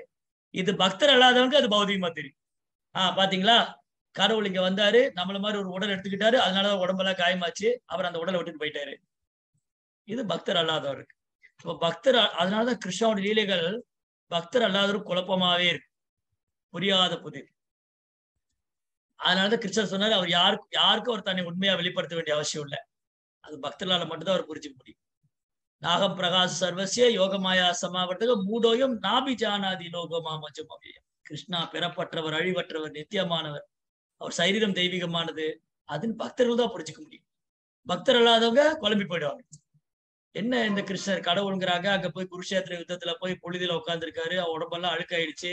தலைமுடியெல்லாம் தூசி இருக்கு அது பீஷ்மனுடைய அம்பெல்லாம் குத்தி ரத்தம் வந்திருக்கு காயமா இருக்கு உடம்பெல்லாம் வேறு எதுக்கு இது கிருஷ்ணருக்கு இந்த வேலை அப்படின்னு பக்தர் இல்லாதவங்க நினைப்பாங்க ஆனா பக்தர்கள் புரிஞ்சுக்காங்க அவர் பகவானோட அன்பு பரிமாற்றம் செய்யறாரு அடுத்தது உம்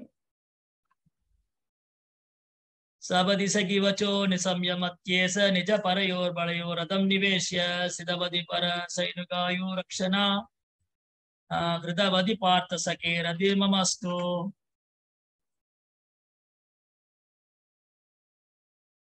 ஆஹ் அதுக்கு முன்னாடி ஒரு ஸ்லோகம் இருக்கு. உம்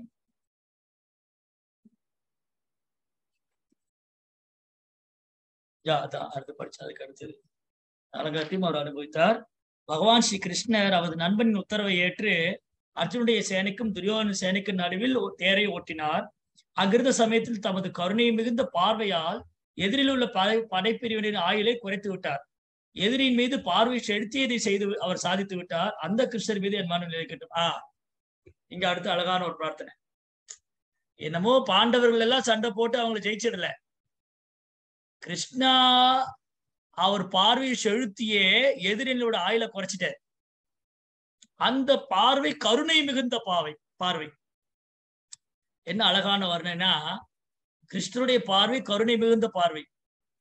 அது எதிரணியில் இருக்கிறவங்களும் கருணை தான். அப்ப கிருஷ்ணா அவருடைய பார்வை அவருடைய செயல் அவருடைய கருணை பாரபட்சமற்றது. சூரியனுடைய வெளிச்சம் எப்படி பாரபட்சம் இல்லையோ அது சாக்கடையிலயும் விழும் நதி மேலேயும் விழும் வயல்காட்டுலயும் விழுகும் எல்லா பக்கம் விழுகுது. அது மலத்து மேலே விழுகுது. அதனால சூரியன் அஸ்தமாகிறது இல்ல சூரியனுடைய வெளிச்சம் மலத்து மேல விழுகிறதுனால இப்ப நீங்க கா கிராமப்புறங்கள்லாம் போனா வெளிப்புறத்துல மலம் கழிப்பாங்க திறந்த வெளியில. திறந்த வெளியில மலம் கழிச்சு அந்த இடம் அசுத்தமாயிடும். சூரிய ஒளிச்ச பட்டு பட்டு அந்த இடம் மலம் எல்லாம் காஞ்சு போய் சுத்தமாயிடும். அதனால சூரியன் கலக்கமாகல. அந்த இடம் தான் சுத்தமா இருக்கு அது போல கிருஷ்ணனுடைய பார்வையில எந்த வித்தியாசம் கிடையாது. சமூகம் சர்வபூதேஷு நவே துவேஷோ அஸ்தின பிரியம். கிருஷ்ணா யார் மேலேயும் பாரபட்சம் காமிக்கிறது இல்ல யாரையும் மேலேயும் பொறாமை கொள்றதும் இல்ல. அவர் எல்லோருக்கும் சமமானவர். அதனாலதான் இங்க கிருஷ்ணாவுடைய பார்வை கருணை மிகுந்த பார்வைங்கிறார். சோ கிருஷ்ணாவுடைய கருணை எப்படி எதிரணிக்கு கிடைச்சது? எதிரணியில் இருக்கிறவங்க எப்படி கருணை கிடைச்சது? அவங்க ஆயில கிருஷ்ணர் குறைச்சு அவங்களை அடிச்சிட்டாரு. அவங்க ஆயில குறைச்சிட்டாரு. அது பெரும் பாக்கியம் தானே? கிருஷ்ணாவுடைய கருணையினால எதிரணியில் இருக்கிறவங்க கிருஷ்ணருடைய பார்வை அவங்க மேல பட்டதுனால அவங்க ஆயுள் குறைந்து அவளும் நற்கதி அடைஞ்சா அது பின்னாடி வரக்கூடிய பிரார்த்தனை சொல்லுவார். அவங்கவுங்க அவங்கவுங்க நிலை அடைஞ்சா. அப்போ மகாபாரத யுத்தத்துல யாரெல்லாம் பங்கு கொண்டார்களோ அவங்கவுங்க விரும்பிய பலனை அடைஞ்சாங்க. சிலர் சொர்க்கத்துக்கு போனாங்க சிலர் மோட்சம் அடைஞ்சாங்க சிலர் பகவானுடைய உலகத்துக்கு போனாங்க. எல்லாரும் ஒரே நிலை அடையல. பாண்டவர்கள் பகவானுடைய நித்தியமான ஆன்மீக உலகத்துக்கு போனாங்க. சிலர் பிரம்மத்தோட இரண்டரை கலந்தாங்க சிலர் மோட்சம் அடைஞ்சு முக்தி அடைஞ்சாங்க சிலர் வந்து சொர்க்கத்துக்கு போனாங்க அவங்கவுங்க விரும்பிய பயனை அடைஞ்சாங்க. சமீபத்திலோட ஒருத்தர் இந்த கேள்வி கேட்டார். மகாபாரத யுத்தத்துல இறந்து போனவங்க நிலை என்ன? பாண்டவர்கள் என்ன ஆனாங்க? கௌரவர்கள் என்ன ஆனாங்க? ஸோ அவங்கவுங்க அந்த உடலை விடக்கூடிய சமயத்துல அவங்கவுங்க விரும்பிய பலன் அடைச்சாங்க ஏன்னா அது தர்மத்துக்காக நடந்த யுத்தம். அதுல பங்கு பெற்றவங்க எல்லாருமே நற்கதி அடைஞ்சாங்க. அதனால கிருஷ்ணா இங்க ரெண்டு முக்கியமான விஷயம். அர்ஜுனுடைய உத்தரவை ஏற்றுக்கொண்டு அர்ஜுனன் ஆர்டர் போடுறார் கிருஷ்ணாக்கு. ஆர்டர் போடுறார். என்ன ஆர்டர் போட்டாரு? சேனையோர் உபயோர் மத்தியம் ரதம் ஸ்தாப ஏமே அச்சுதா. ஏ அச்சுதனே. ரெண்டு படையில் நடுவுல தேரை கொண்டு போய் நிப்பாட்டுங்க. ஆர்டர் போடுறாரு. அது ஒரு வேலைக்காரன் மாதிரி சேவகன் மாதிரி கிருஷ்ணர் ஏத்துட்டு அந்த வண்டி ஓட்டுறாரு. அதனால கிருஷ்ணர் ஒரு சாதாரண மனிதன் நினைச்சிடக்கூடாதுன்னு அச்சுதான்னு சொல்றாரு. அர்ஜுன் என்ன சொல்லிருக்கலாம் ரெண்டு படைகளுக்கு நடுவுல ரதத்தை கொண்டு போய் நிறுத்துக்க கிருஷ்ணா அப்படின்னு சொல்லி. ஓ கிருஷ்ணரே யாதவரே ரெண்டு படைகளுக்கு நடுவுல தேரை கொண்டு போய் நிப்பாட்டுங்கன்னு சொல்லியிருக்கலாமே. ஏன் அச்சுதான்னு சொன்னாரு? பின்னாடி பகவத்கீதை படிக்கிறவங்க கிருஷ்ணரை பற்றி கேட்கிறவங்க படிக்கிறவங்க அவர் ஒரு சாதாரண மனிதரா நினைச்சிட கூடாது. அவர் அவர் வீழ்ச்சி அடையாதவர். அச்சுதா. சுதானா வீழ்ச்சி அடைபவர் அச்சுதானா வீழ்ச்சி அடையாதவர். அப்ப கிருஷ்ணரை அர்ஜுனன் அச்சுதா அர்ஜுனன் கிருஷ்ணரை அச்சுதான்னு சொல்ற அப்ப இங்க பீஷ்மன் என்ன சொல்றாரு? ஒரு நண்பனை போல சேவகனை போல அவருடைய ஆர்டர் அர்ஜுனுடைய ஆர்டரு கட்டளை ஏத்துக்கிட்டு ரெண்டு படைக்கு நடுவுல துரியோருடைய சேனைக்கு நடுவுலயும் பாண்டவர் படைக்கு நடுவுலயும் தேரை கொண்டு நிப்பாட்டுறாரு கிருஷ்ணா. அங்கிருந்து கிருஷ்ணனுடைய பார்வை வந்து கருணை காரணமற்ற கருணை. இதுக்கு முன்னாடி அத்தியாயத்துல அஸ்வத்தாமனுடைய லீலை அஸ்வத்தாமன் தண்டிக்கப்பட்டது. அதுல ஒரு ஸ்லோகத்துல மிக அழகான வார்த்தை வரும். அர்ஜுனுடைய கண்கள் கோபத்தினால தாமரை குண்டுகள் போல இருந்தது. கிருஷ்ணனுடைய கண்கள் வந்து தாமரை இதழ் மாதிரி இருந்தது. கோபத்துல கூட கிருஷ்ணாவுடைய கண் எப்படி இருந்ததா? தாமரை இதழ் மாதிரி இருக்கு குளிர்ச்சியா இருந்தது. ஆனா அர்ஜுனுடைய கண்ணு வந்து தாமரை குண்டு போல் ஆயிடுச்சு. காரணம் அர்ஜுனன் ஜீவாத்மா அவருக்கு கோபம் வருது. கிருஷ்ணாவுடைய கோபமும் கருணை தான் இதான் டிஃபரன்ஸ் ஜீவ் கிருஷ்ணாவுக்கும் நமக்கு என்ன வித்தியாசம்? எனக்கு கோபம் தான் ரஜோகுணத்துல வரும். கிருஷ்ணாவுக்கு கோபம் வந்தா அதுவும் கருணை தான் அதன் மூலமா அவர் யாரை தண்டிக்கணும்னு நினைக்கிறாரோ அது கூட கருணை தான் கிருஷ்ணாவத்தரை தண்டித்தாலும் கருணை கிருஷ்ணாவத்தர் மேல அன்பு செய்தாலும் கருணை. அன்பு செய்தாலும் கருணை. அதனால கிருஷ்ணாவுடைய பார்வையில எந்த வித்தியாசம் கிடையாது. அவர் எல்லோருக்கும் சமமானவர் எல்லார் மேலே கருணைகள். அதனால எதிர்த்தரப்புல இருக்கிறவங்க மேலே கருணை காமிச்சு அவங்களுக்கும் முக்தி கொடுத்துட்டார். யவசிவகித புருதனா முகம் நிரீக்ஷ ஸ்வஜனவதா விமுக்ஷ தோஷ புத்தியா குமதி மகாராத் ஆத்ம வித்யாய சரண ரதி பரமஸ்தமே அஸ்து போர்க்களத்தில் தனக்கு முன்பு இருந்த வீரர்களையும் சேனாதிபதிகளையும் பார்வையிட்ட அர்ஜுனர் அறியாமையினால் கலக்கம் அடைந்து காணப்பட்ட பொழுது பகவான் அவருக்கு ஆன்மீக அறிவை போட்டி அவரை அறியாமையிலிருந்து கலைந்தார். அவரது தாமரை பாதங்கள் எப்பொழுதும் என் மனதை கவர்ந்திழுக்கும் பொருளாக அமையட்டும். அப்போ ஒரு பக்தனுக்கு குழப்பம் வரும்போது பகவான் அவர் கைவிட்டுறது இல்ல அர்ஜுனனுக்கு குழப்பம் வந்துருச்சு. இந்த இந்த யுத்தம் பண்றதா வேண்டாமா? துஷ்பிரேமம் ஸ்வஜனம் கிருஷ்ணா யூத்சம் சமுபஸ்திதம் சிந்தந்தி மமகாத்ராணி முகம் ச பரிசுஷதி என் உடல் நடுங்குகிறது வாய் உலர்ந்து விட்டது சர்மம் எல்லாம் எரிகின்றது. என்னால் இங்க நிக்க முடியல ரதத்தை திருப்புங்க. போலாம். வேண்டாம் இந்த யுத்தம் வேண்டாம். போறதா வேண்டாமா செய்யறதா வேண்டாமா ஒரே குழப்ப தலையில கை வச்சு உட்காந்து என்ன பண்ற அப்ப உடனே அர்ஜுனனை உற்சாகப்படுத்துகின்றார். கிருஷ்ணா எப்படி? தன்னுடைய அற்புதமான வார்த்தைகளால ஆன்மீக அறிவை பூட்டி அவர் அறியாமையில் கலந்து விட்டார்.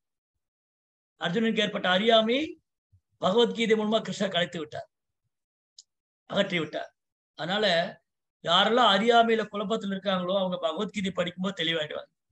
அதனால இங்க பீஷ்மர் சொல்றாரு அப்போ பக்தனுக்கு ஒரு குழப்பம் கவலைன்னா உடனே பகவான் அவரை உற்சாகப்படுத்துறாரு. அர்ஜுனை உற்சாகப்படுத்தி அவருக்கு ஆன்மீக அறிவு போட்டு அந்த பகவானுடைய தாமரை பாதம் எப்பொழுதும் என் மனதை கவர்ந்திருக்கும் பொருளாக அமையட்டும். சனிகமம் அபாய மத் பிரதிஜாமிருதம் அதிகர்த்தும் அவலுப்தரஸ்ததஸ்தக திருதரத சரணோ அப்பியாத் சலக்ரூர் ஹரிரிவகந்தும் இபம் கதோதரியா. அவரது சொந்த வாக்குறுதி மீறி என் ஆசையை நிறைவேற்றும் வகையில் தேரிலிருந்து கீழே குதித்து அவர் அதன் சக்கரத்தை கையில் எடுத்துக்கொண்டு சிங்கம் யானையை கொன்றுவிட செய்வது போல என்னை நோக்கி விரைவாக ஓடி வந்தார். வலியுறு அவரது மேலாடையும் கூட சரிந்து கீழே விழுது. இதையெல்லாம் மனுஷர் ரசிச்சிருக்காரு. பீஷ்மர் அங்க ரதத்துல நின்னு கிருஷ்ணாவை இன்ச்சு பை இன்ச்சா ரசி அழகழகா ஓரொரு அங்கத்தையும் ரசிச்சிருக்காரு. அது மட்டும் இல்ல இந்த பகவான் கிருஷ்ணர் என்னுடைய ஆசையை நிறைவேற்றுறதுக்காக என் வாக்க காப்பாத்துக்க அவர் வார்த்தையை பொய்யாக்கிட்டார். ஏன்னா அன்னைக்கு பீஷ்மர் ஒரு முடிவோட தான் வந்தார். ஒன்று அந்த வாசுதேவ கிருஷ்ணரை ஆயுதம் எடுக்க வைக்கணும். இல்ல அர்ஜுனனை கொல்லணும்? ரெண்டுல ஏதோ நடக்கும். இப்படியே துரியோதனுக்கு ப்ராமிஸ் பண்ற பீஷ்மா துரியோதனுக்கு வாக்கு கொடுத்துட்டாரு. என்ன வாக்கு கொடுத்துட்டாரு? நான் அர்ஜுனனை நீ கொல்லுவேன். அப்படி இல்லையா? அந்த வாசுதேவனுடைய சபதத்தையே நான் முறியடிப்பேன். அன்னைக்கு பீஷ்மருடைய அம்புகள் அந்த வில்லிலிருந்து அம்புகள் ஒன்று அப்படி பாயுது சீறி பாய்ந்து வரும். அப்படி சரளமா அம்புகளை விடுறார் அர்ஜுனன் திகைத்து போனார். அர்ஜுனன் வந்து காண்டிப்பு எடுத்து அம்பு வைக்கிறதுக்குள்ள பீஷ்மர் கட் பண்ணி விட்டுருவார். கயிறை கட் பண்ணி விட்டுருவார். திரும்பி கயிறு சேர்க்கறதுக்குள்ள திரும்பி கட் பண்ணி விட்டுருவார். அர்ஜுனன் கயிறு மாற்றுறதுக்குள்ள அந்த நான் ஏற்றுறதுக்குள்ள பீஷ்மர் கட் பண்ணி விட்டுருவார். எப்படி அம்புகளை கட் பண்ணாரு அவருடைய ரதத்தை முறியடிக்கிறாரு கிருஷ்ணன் மேல காயப்படுத்துறாரு கிருஷ்ணனுடைய கிரீடத்தை தரிச்சு விட்டாரு. அடுத்த அம்பு அர்ஜுனுடைய தலைக்கு வருது. கிருஷ்ணர் ரதத்தை ஒரு அமுத்த அமுத்துன்னு அவர் தலை போயிருக்கு கிரீடத்தோட போச்சு. அப்ப கிருஷ்ணர் புரிஞ்சுக்கிட்டாரு. இன்னைக்கு பீஷ்மரோட ஒரு முடிவோடு தான் வந்திருக்கிறாரு. ஒண்ணு அர்ஜுனனு கொல்லணும் இல்ல என்னுடைய வார்த்தையை பொய்யாக்கணும். அப்ப என்ன நடக்குது இங்க? அர்ஜுனன் இழக்கக்கூடாது பீஷ்மரும் அவமானப்படக்கூடாது. ரெண்டு பேரும் என் பக்தர் தான். அதனால இந்த கிழவை இந்த தாத்தா வந்து ஒரு முடிவோடு தான் வந்திருக்கிறாரு. அதனால இவர் என்ன பண்ற பாரு அப்படின்னு சொல்லி அவரு அவரோட அவர் அவரை சந்தோஷ பீஷ்மர் சந்தோஷப்படுத்துறதுக்காக என் ஆசையை நிறைவேற்றிக் கொள்ளும் தனது சொந்த வாக்குறுதியை மீறி என் ஆசையை நிறைவேற்றும் வகையில். நான் வந்து ஆசைப்பட்டேன். அந்த வாசுதேவன் ஆயுதம் எடுத்து பார்க்கணும்னு. அந்த இல்லாட்டி அர்ஜுனனை கொல்லணும்னு. அப்ப என் ஆசையை நிறைவேற்றணும். அர்ஜுனனையும் இழக்கக்கூடாது. என் வார்த்தையும் பொய்யாக கூடாது அப்ப தன் வார்த்தையும் பொய்யாக்கி கொண்டார். இனி யாரு கிருஷ்ணர் சொன்னா நம்புவாங்க? ஆஹ் கிருஷ்ணரா அவர் மாத்தி மாத்தி பேசுவார். அவர் மகாபாரத்துல ஆயுதமே எடுக்க மாட்டேன்னாரு. அவர் பீஷ்மரை நோக்கி ஆயுதம் எடுத்துட்டு போனாரு. அதனாலதான் கிருஷ்ணர் சொல்றாரு ஒருவேளை நான் சொன்னா மக்கள் நம்பாம போகலாம். அர்ஜுனா நீயே அறிவிப்பாயாக கவுந்தேய பிரதிஜானகி நமே பக்த பிரணசதி என் பக்தன் என்னைக்கு வீண் போக மாட்டா அது நீ சொல்லு அர்ஜுனனர் ஏன்னா கிருஷ்ணர் சொல்லிட்டா ஒருவேளை மாத்திட்டாருன்னா என்ன பண்றது? அதனால பகவான் தன்னை விட தன் பக்தனுடைய விருப்பத்துக்கும் அவருடைய வார்த்தைக்கும் முக்கியத்துவம் தெரியும். தன் வார்த்தையை பொய்யாக்கிட்டு. இதேதான் பிரகலாதர் சொன்னார் அந்த தூண்ல நரசிம்மர் இருக்காரு. விஷ்ணு இருக்காருன்னு. அது வரைக்கும் பகவான் வரல. அந்த தூணை காண்பித்து அதில் விஷ்ணு இருக்கின்றார் என்று பிரகலாதர் கூறிவிட்டார். என்ன கசுபு? பயங்கரமான அடே பிரகலாதா! எங்கடா ஒன்னு விஷ்ணு? பெரிய கதையை தூக்கிட்டான். இதுல இருக்கிறான் அவன் விஷ்ணு. ஏ கோலையே எனக்காக பயந்து ஒழிந்து நிற்கிறாய்? உன்னை நான் என்ன செய்கிறேன் பார்? அந்த அந்த கதை எடுத்து தூணை உடைக்க போனான். அந்த குழந்தை கள்ளங்கவடம் இல்லாத குழந்தை அஞ்சு வயசு குழந்தை பிரகலாத். அவர் வந்து பகவான் மேல அவ்வளவு அன்பு. அவர் சொன்னார் இந்த தூண்ல விஷ்ணு இருக்காருன்னு. இனி கொண்டு நான் வரலைன்னா என் பக்தனுடைய வார்த்தை பொய்யாயிடும். அது மட்டும் இல்ல இவ்வளவு நாள் அந்த குழந்தை எனக்காக பொறுத்துக்கிட்டாரு இனி நான் பொறுத்துக்க மாட்டேன். தூணை உடச்சி வந்த தூணு ரெண்டா பட்டா அந்த தூணு ரெண்டா பிறந்து பார்த்தா பிரம்மாண்டமான அற்புத சிங்கா பிரம்மாண்ட ரூபம். பாதி மனிதன் பாதி சிங்கம். என்ன கசிப்பு குழம்பி போனா என்னடா இலங்கை இது மனுஷனா மிருகமா? நான் மிருகம் நான் மானுஷம். இது மனுஷன்னு சொல்ல முடியல மிருகம்னு சொல்ல முடியல.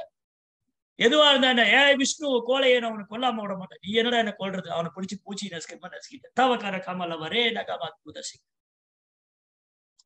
பிரகலாதன் வார்த்தையை பொய்யாக்க விடல பகவான். தன் பக்தனுடைய வார்த்தை என்னைக்கு பகவான் பொய்யாக்க விட மாட்டார். ஒரு தூய பக்தனுடைய வார்த்தைய என்னைக்கு கிருஷ்ணர் பொய்யாக்க விட மாட்டார்? தன் வார்த்தையை பொய்யாக்கி கொண்டு என் ஆசையை நிறைவேற்றுவதற்காக தேர்லேருந்து கீழே குதிச்சிட்டார். அர்ஜுனன் வந்து ரொம்ப சோர்ந்து போயிட்டாரு. கிருஷ்ணர் பார்த்தாரு. ரதத்திலிருந்து ஒரு ஜம்ப் பண்ணிட்டார்.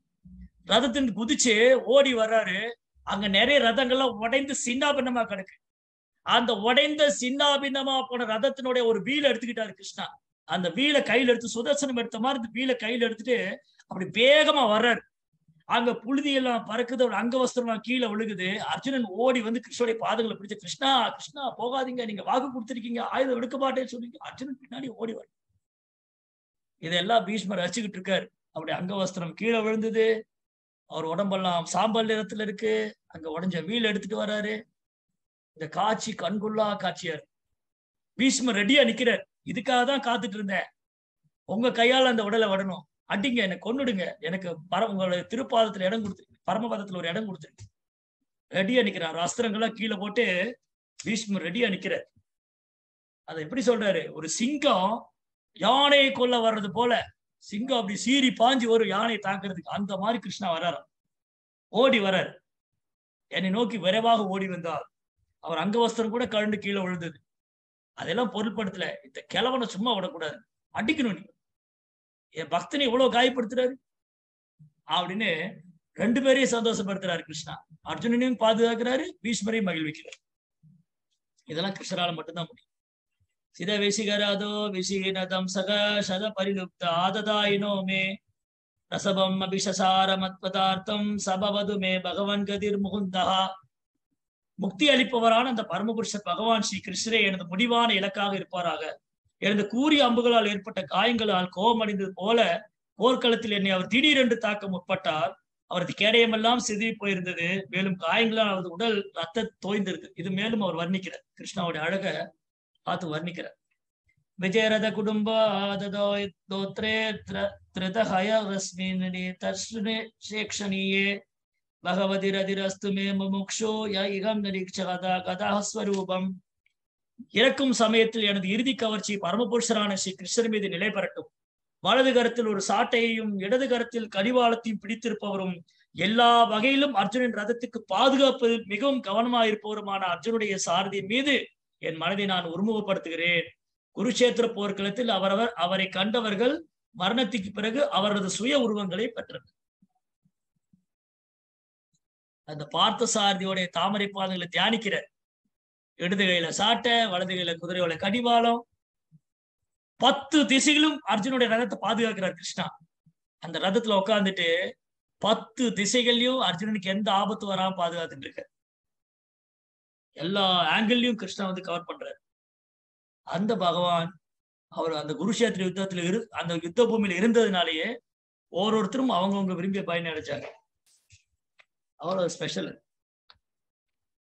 லலித கதி விலாச வல்குஹாச பிரணய நிரீக்ஷண கல்பிதோருமான கிருதமனு கிருதவத்ய உன்மதாந்திர பிரகதிமவ பிரபு பிரகதிமகங்கிலயஸ்ய கோபவத்வத்வஹ. அன்பான புன்னகையாலும் அசைவுகளாலும் பிருந்தாவனத்து இளநங்கையர்களை கோபியர்களை கவர்ந்திருப்பவரான பகவான் ஸ்ரீ கிருஷ்ணன் என் மனதை நிலை பெறட்டும் ராசனிடத்திலிருந்து பகவான் மறைந்த பிறகு இளநங்கையர் பகவானின் அங்க அவசியங்களை அப்படியே நடித்து காட்டு இங்க பீஷ்மா இன்னும் ரொம்ப இன்டெலிஜென்ட் பீஷ்மா ரொம்ப புத்திசாலி. என்ன பண்றாரு? கிருஷ்ணாவுடைய கருணை எப்படி பெற முடியும்? கோபிகளை புகழ்ந்து பாடினா கிருஷ்ணாவுக்கு ரொம்ப பிரியமா கோபியரை கொஞ்சம் ரமணா கோபால கிருஷ்ணா அப்படின்லாம் பாடியிருக்காரு. அந்த மாதிரி பீஷ்மா என்ன பண்றாரு? கிருஷ்ணாவுடைய கருணையை சீக்கிரம் பெறணுமா? அவருடைய பக்தர்களை புகழணும். அப்போ கிருஷ்ணாவுக்கு கிருஷ்ணாவுடைய பக்தர்லயே ஃபர்ஸ்ட் கிளாஸ் வந்து பிருந்தாவனத்து கோபி சைதன்ய மாப்பு கூட சொல்றாரு ரம்யா காஞ்சி துபாசனா விரஜவது. கோபிகளே ஃபர்ஸ்ட் கிளாஸ் அதாவது பக்தர்களே ஃபர்ஸ்ட் கிளாஸ் வந்து பிருந்தாவன கோபி. அதனால பீஷ்மர் என்ன பண்றாரு கிருஷ்ணாவுடைய கருணை எப்படி எல்லாம் பெறது டெக்னிக்கா ரொம்ப அழகா இந்த கிருஷ்ணா கோபிகளுக்கு பிரியமானவர் அதனால அந்த கோபிகளுடைய சேவையை நான் பாராட்டினா கிருஷ்ணா என் மேல ரொம்ப சந்தோஷமாயிடுவாரு. ஆஹ் தனது அன்பான புன்னகையாலும் அசைவுகளாலும் மந்தகாசு புன்னகை. அப்படி உதட்டோர சிரிப்பார். அந்த மந்தகாசு புன்னகையால கிருஷ்ணா பிருந்தாவனத்து இளம் கோபிகளை கவர்ந்து விட்டார். அந்த கிருஷ்ணர் மீது என் மனம் நிற்கட்டும். நிக்கட்டும் ராசன் நடத்தின போது அவங்க கிட்ட இருந்து மறைஞ்சவும் செஞ்சுட்டாரு. அந்த கோபிகள்லாம் கிருஷ்ணரையே நினைச்சு கிருஷ்ணாவை தேடினேன். கிருஷ்ணர் எங்க போனாங்க எங்க போனாங்க அப்படியே அவரை மாதிரி நடிச்சு காமிச்சாங்க ஒரு கோபி தமால மரம் மாதிரி நின்னுக்குவாங்க. ஒரு கோமா ஒரு கோபி தமாலா மரத்தை போய் கட்டி தள்ளிக்குவாங்க. அவங்க காளிங்க நர்த்தனம் செஞ்சது பூதனையை வதம் பண்ணுது. அது லீலைகள்லாம் நினைச்சு நினைச்சு அவங்க அப்படியே அழுதுகிட்டே கிருஷ்ணா எங்களை விட்டு போயிட்டாரு. அப்போ அந்த கோபிகளுடைய கருணை இருந்தாதான் எனக்கு கிருஷ்ணாவுடைய கருணை கிடைக்கும்னு இங்க கோபிகளை புகழ்ந்து பாரு முனிகன் அனுபவரிய சங்குலயந்த சதசி யுதிஷ்டர ராஜசுயேஷாம் அர்ஹனமுபேத ஈக்ஷணியோ மம திருசிகோச்சர ஏச ஆவிராத்மா. யுதிஷ்ட மகாராஜாவால் ஏற்றப்பட்ட ராஜ்ய யாகத்தின் போது அரச குடும்பத்தினர் மற்றும் பண்டிதர்கள் ஆகிய மிகச்சிறந்த உலக பிரமுகர் அனைவரும் அங்கு கூடியிருந்தனர். அந்த சிறந்த கூட்டத்தில் பகவான் ஸ்ரீ கிருஷ்ணர் அனைவராலும் இணையற்ற பரமபுருஷராக வழிபடப்பட்டார். இந்த சம்பவம் தான் இந்த சம்பவம் நான் இருக்கும்போது நடந்ததாகும். மேலும் பகவானிடம் என் மனதை பதிப்பதற்கு இச்சம்பவத்தை நான் நினைவு கூறுகின்றேன். ஆஹ் இப்ப என்ன பண்றாரு? அவர் வாழ்க்கையில எப்பெல்லாம் கிருஷ்ணர் வந்து இருந்த கூட இருந்தாரோ அதெல்லாம் நினைவு கொள்றார். நினைவு கொள்றார். யுதிஷ்டமராஜ ராஜஸ்ரீ யஜ்யத்துல எல்லாரும் ஏக மனதோடு கிருஷ்ணரை முழுமுது கடவுளை ஏற்றுக்கொண்ட சிசுபாலனை தவிர சிசுபாலன் கிருஷ்ணன் மேல பொறாம அவன் மட்டும்தான் ஒத்துக்கல. இது எல்லாரும் கிருஷ்ணரை முழுமுது கடவுளை ஏற்றுக்கொண்டார் அது நான் இருக்கும்போது நடந்தது. அதனால அந்த லீலையை நான் நினைவில் கொள்கிறேன். இதுதான் ஸ்மரணம் விஷ்ணு ஸ்மரணம். தன் வாழ்நாள்ல கிருஷ்ண பகவான் எங்கெல்லாம் தனக்கு அனுகிரகம் செய்தார் எங்கெல்லாம் காட்சி அளித்திருக்கிறார் என்னென்ன லீலைகள்லாம் நடந்தது அது எல்லாம் இந்த மரணத்தின் தருவாயில இந்த உடலை விடுறதுக்கு முதல்ல முன்னாடி பீஷ்மர் நினைவில் கொள்றார். தமிமகமஜம் சரீரபாஜம் ஹிருதி ஹிருதி திஷ்டிதம் ஆத்ம கல்பிதானாம் ரத்தி திருஷம் இவ நைகார்த்தகம் ஏவம் சமதி கதோ அஸ்மின் விதூர பேதமோகா. பகவான் எல்லோட இதயத்திலும் இருக்கின்றார். மனக்கற்பனையாளர் இதயத்திலும் இருக்கின்றார் என்பதற்கு எதிரான எண்ணத்திலிருந்து இப்போது நான் விடுபட்டு விட்டேன். என்பதால் இப்போது என் முகம் என் முன் நிற்கும் அந்த ஒரே பகவானாகிய ஸ்ரீ கிருஷ்ணரை முழு மன உரிமையுடன் என்னால் தியானிக்க முடிகிறது. எப்படி பீஷ்மனால் தியானிக்க முடிஞ்சது? அவர் கிருஷ்ணரையே நினைச்சிட்டு இருந்தார். கிருஷ்ணனுடைய சச்சிதானந்த ரூபத்தை நினைத்துக் கொண்டிருந்தார். கிருஷ்ணன் லீலைகளை நினைத்துக் கொண்டிருந்தார். ஆனா பேருக்காக தான் எதிரணியில் இருந்தார். பாண்டவருக்கு எதிராக இருக்குது இருப்பது போல இருந்தது. ஆனா நீங்க பகவத்கீதையில முதல் அத்தியாயத்துல படிச்சீங்கன்னா அவர் சங்கு ஊதும் போதே சொல்லிட்டார். அந்த சங்கு துரியோதனுக்கு அப்பயே அவர் ஊதிட்டார். அந்த பீஷ்மனுடைய சங்கு எப்படி இருந்தது? மறைமுகமாக நீ தோற்று விடுவா என்று அறிவுறுத்தியதான் பீஷ்மா சங்கு ஊதும் போது துரியோதனன் பீஷ்மர்கிட்ட பேச வருவாங்க. சரி ஆ துரியோதனன் பீஷ்மட்ட பேச வரும்போது தன் பேரனை மகிழ்விக்கிறதுக்காக பீஷ்மர் சங்கு ஊதினாரு. அந்த சங்கு ஒளி எப்படி இருந்ததா? மறைமுகமா நீ தோத்து போயிடுவடா பாண்டவர் தான் ஜெயிக்க போறான்னு இருந்துச்சு. அது வந்து பகவத்கீதையில வந்து மென்ஷன் பண்ணிருக்காரு. மேற்கோள் காமிச்சிருக்காங்க அதனால எந்த வகையில பார்த்தாலும் பீஷ்மர் தன் கடமைக்காக மட்டுமே எதிரில் இருந்தாரே தவிர அவர் கிருஷ்ண உணர்வை தான் செயலாற்றினார். அதனாலதான் ஒரு பன்னிரெண்டு மகாஜன ஒத்துனா இருக்காரு. அந்த உடலை விடக்கூடிய தருவாயில அம்பு பறிக்கல படுத்துட்டு வாழ்க்கையினுடைய தத்துவங்கள் தர்மத்தின் கொள்கைகள் ஸ்ரீ தர்மா புருஷ தர்மா ராஜ தர்மா குல தர்மா எல்லா தர்மத்தையும் பீஷ்மர் யுதிஷ்டருக்கு போதிக்கிறார். எங்க அம்பு பறிக்கல படுத்துட்டு சாய கடையில உட்காந்து பேசல. டீ கடையில் உட்காந்து நம்ம ஆளுக்கு வெட்டி நாயம் பேசுவாங்கல்ல அந்த மாதிரிலாம் பேசிடல. நம்ம அரசியல் தலைவர் மாதிரி நல்லா சொகுசு மேடை போட்டு மைக்கை பிடிச்சி பொய்யா முய்யான்னு கத்தல. அவர் அம்பு படுக்கையில படுத்துட்டு பகவத் விஞ்ஞானத்தை போதிச்சுட்டு இருக்காரு. என்ன ஒரு தன்னை உணர்ந்த ஆத்மாவா இருந்தா அந்த உடல்ல அவ்வளவு வேதனைகள் உடம்பெல்லாம் அம்புகளால் தைக்கப்பட்டிருக்கும் போதும் மிக உற்சாகமாக கிருஷ்ணரை பத்தி பேசியிருப்பாரு. உடலெல்லாம் அம்புகள்ல தைக்கப்பட்டிருக்கு அந்த நிலையில கூட அவரு ரொம்ப அற்புதமா யுதிஷ்டர் உட்கார வச்சு எப்படி ஒரு ராஜ ரிஷியா இருக்கணும்? எப்படி கிருஷ்ண உணர்வுள்ள ராஜ்யத்தை ஆளணும்? எப்படி பகவானுக்காக இந்த சேவையை செய்யறது? எப்படி பகவானை சந்தோஷப்படுத்துறது? எல்லாம் சொல்லி அப்படி எல்லாம் சொல்லி கொடுத்துட்டு பகவானுடைய ஆயிரம் நாமத்தை பாடுகின்றார்.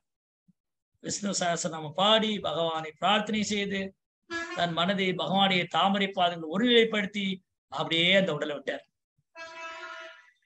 பீஷ்மர் எந்த மாதிரி உடலை விட்டாரோ அதே போலதான் பிரபுபாதர் நமக்கு கத்துக் கொடுத்தார். பிரபுபார் அந்த உடலை விடும்போது நீங்க நிறைய பேர் அந்த வீடியோ பார்த்துருக்கு யூடியூப்ல இருக்கு. யூடியூப்ல இன்னும் அந்த வீடியோல இருக்கு. அவர் அந்த உடலை விடும்போது பாகவத்துடைய ஒரு வார்த்தையும் டிரான்ஸ்லேட் பண்ணிட்டு இருக்காரு. டிக்டேட் டிக்டேட் பண்றாரு. மைக்ரோஃபோன் வச்சு பக்கத்துல சீடர்கள்லாம் மைக்ரோஃபோன் வச்சு ரெக்கார்ட் பண்றாங்க. ஒரு வார்த்தையா பிரபுபார் மொழிபெயர்ப்பு செய்துட்டு இருக்காரு. ரொம்ப உற்சாகமா சந்தோஷமா ஆனந்தமாக பாகவதத்தை மொழிபெயர்ப்பு செய்து அப்படியே பகவானுடைய பாலிய லீலைகள்லாம் தியானம் செய்து கொண்டு பிரபுபாதர் மிக அற்புதமாக சரீரத்தை விட்டார். வாழும்போதும் கிருஷ்ண அப்ப பீஷ்மருடைய உற்சாகம் பீஷ்மருடைய ஆர்வம் உற்சாகம் என்னெல்லாம் இருந்தோ அது அனைத்தும் பிரபுபார் இடத்துல இருந்தது. அவர் இந்த உடலை விடும்போது வாழும் போதும் கிருஷ்ண உணர்வை கத்து கொடுத்தாரு. உடலை விடும்போதும் எப்படி கிருஷ்ணரை நினைத்து கொண்டே உடலை வருது பிரபாகர். வாழும் கலை மரணமடை கலை ரெண்டுமே பீஷ்மர் எவ்வளவு உற்சாகமா செய்திருந்தாரோ அதே உற்சாகத்தோட மகாஜனங்களுடைய அடிச்சுவட்டை பின்பற்றி பிரபுபாதரும் அவ்வாறே இங்கு வாழ்ந்து காமிச்சு சரீரத்தை விட்டார். அதனால ரொம்ப பாக்கியம் பண்ணியிருக்கோம். பிரபுபாவுடைய பொருளுரைகள் அவருடைய உபதேசங்கள் அவருடைய விளக்கங்கள் அவருடைய வழிகாட்டுதல் நமக்கு எல்லாம் கிடைச்சிருக்கு. நம்ம பீஷ்மரை நேர்ல பார்த்ததில்ல. நம்ம ஜென்ரேஷன் பிரபுபாரையும் பார்த்ததில்ல. ஆனா பிரபுபாரை பார்த்து அவருக்கு சேவை செய்த குருமார்கள் இருக்காங்க. பிரபுபாதர் எவ்வாறு முந்தைய ஆச்சாருடைய மனோபாவத்தில் இருக்காங்களோ அதே போல பிரபுபாவுடைய மனோபாவத்தில் இன்னைக்கு குருமார்கள் இருக்காங்க. அவங்க பிரபுபாரை பார்த்திருக்காங்க. அவங்க கிருஷ்ண உணர்வோடு இருக்காங்க. அத்தகு மகா பாகவதர்கள் தூய பக்தர்கள் குருமார்களுக்கு சேவை செய்யறது மூலமா அவங்களுடைய கட்டைகளை கட்டளையை நிறைவேற்றுறது மூலமா நாமும் இந்த சரீரத்தை விடும்போது கிருஷ்ணரை நினைவில் கொள்ள முடியும். அப்போ கிருஷ்ண உணர்வை நம்ம எவ்வளவு சிரத்தையோட பின்பற்றுறோம் கிருஷ்ணர் மேல உள்ள ஸ்மரணத்தை நம்ம எவ்வளவு அதிகரிச்சுக்கிறோம்? கொஞ்சம் கொஞ்சமா பௌதிகத்துல பற்றுதலை விட்டு பகவான் மேல பற்றுதலை அதிகரித்துக் கொள்ள வேண்டும். அதுக்குதான் ஆச்சாரியமார்கள் தோன்றி அந்த லீலைகள்லாம் நம்ம செஞ்சுக்காங்க பகவான் இந்த பூமியில தோன்றி அன்பு பரிமாணம் செய்யறாரு அதனால பீஷ்மாச்சாரியர் பிரபுபாதர் எல்லாம் நமக்கு மிகப்பெரிய இன்ஸ்பிரேஷன் உற்சாகம் சிறந்த உதாரணம். அவங்களுடைய அடிச்சு விட்டு நம்ம பின்பற்றி அது நம்ம பக்தர் சங்கத்துல வந்து குருமார்களுடைய வழிகாட்டுதல பக்தி செய்யும்போது நாமும் படிப்படியா ஒரு தூய பக்தர்களின் நிலையை நோக்கி நாம் முன்னேற்றோம் ஹரே கிருஷ்ணா. ஜெய் சில பிரபுபாதிக்கு ஓகே.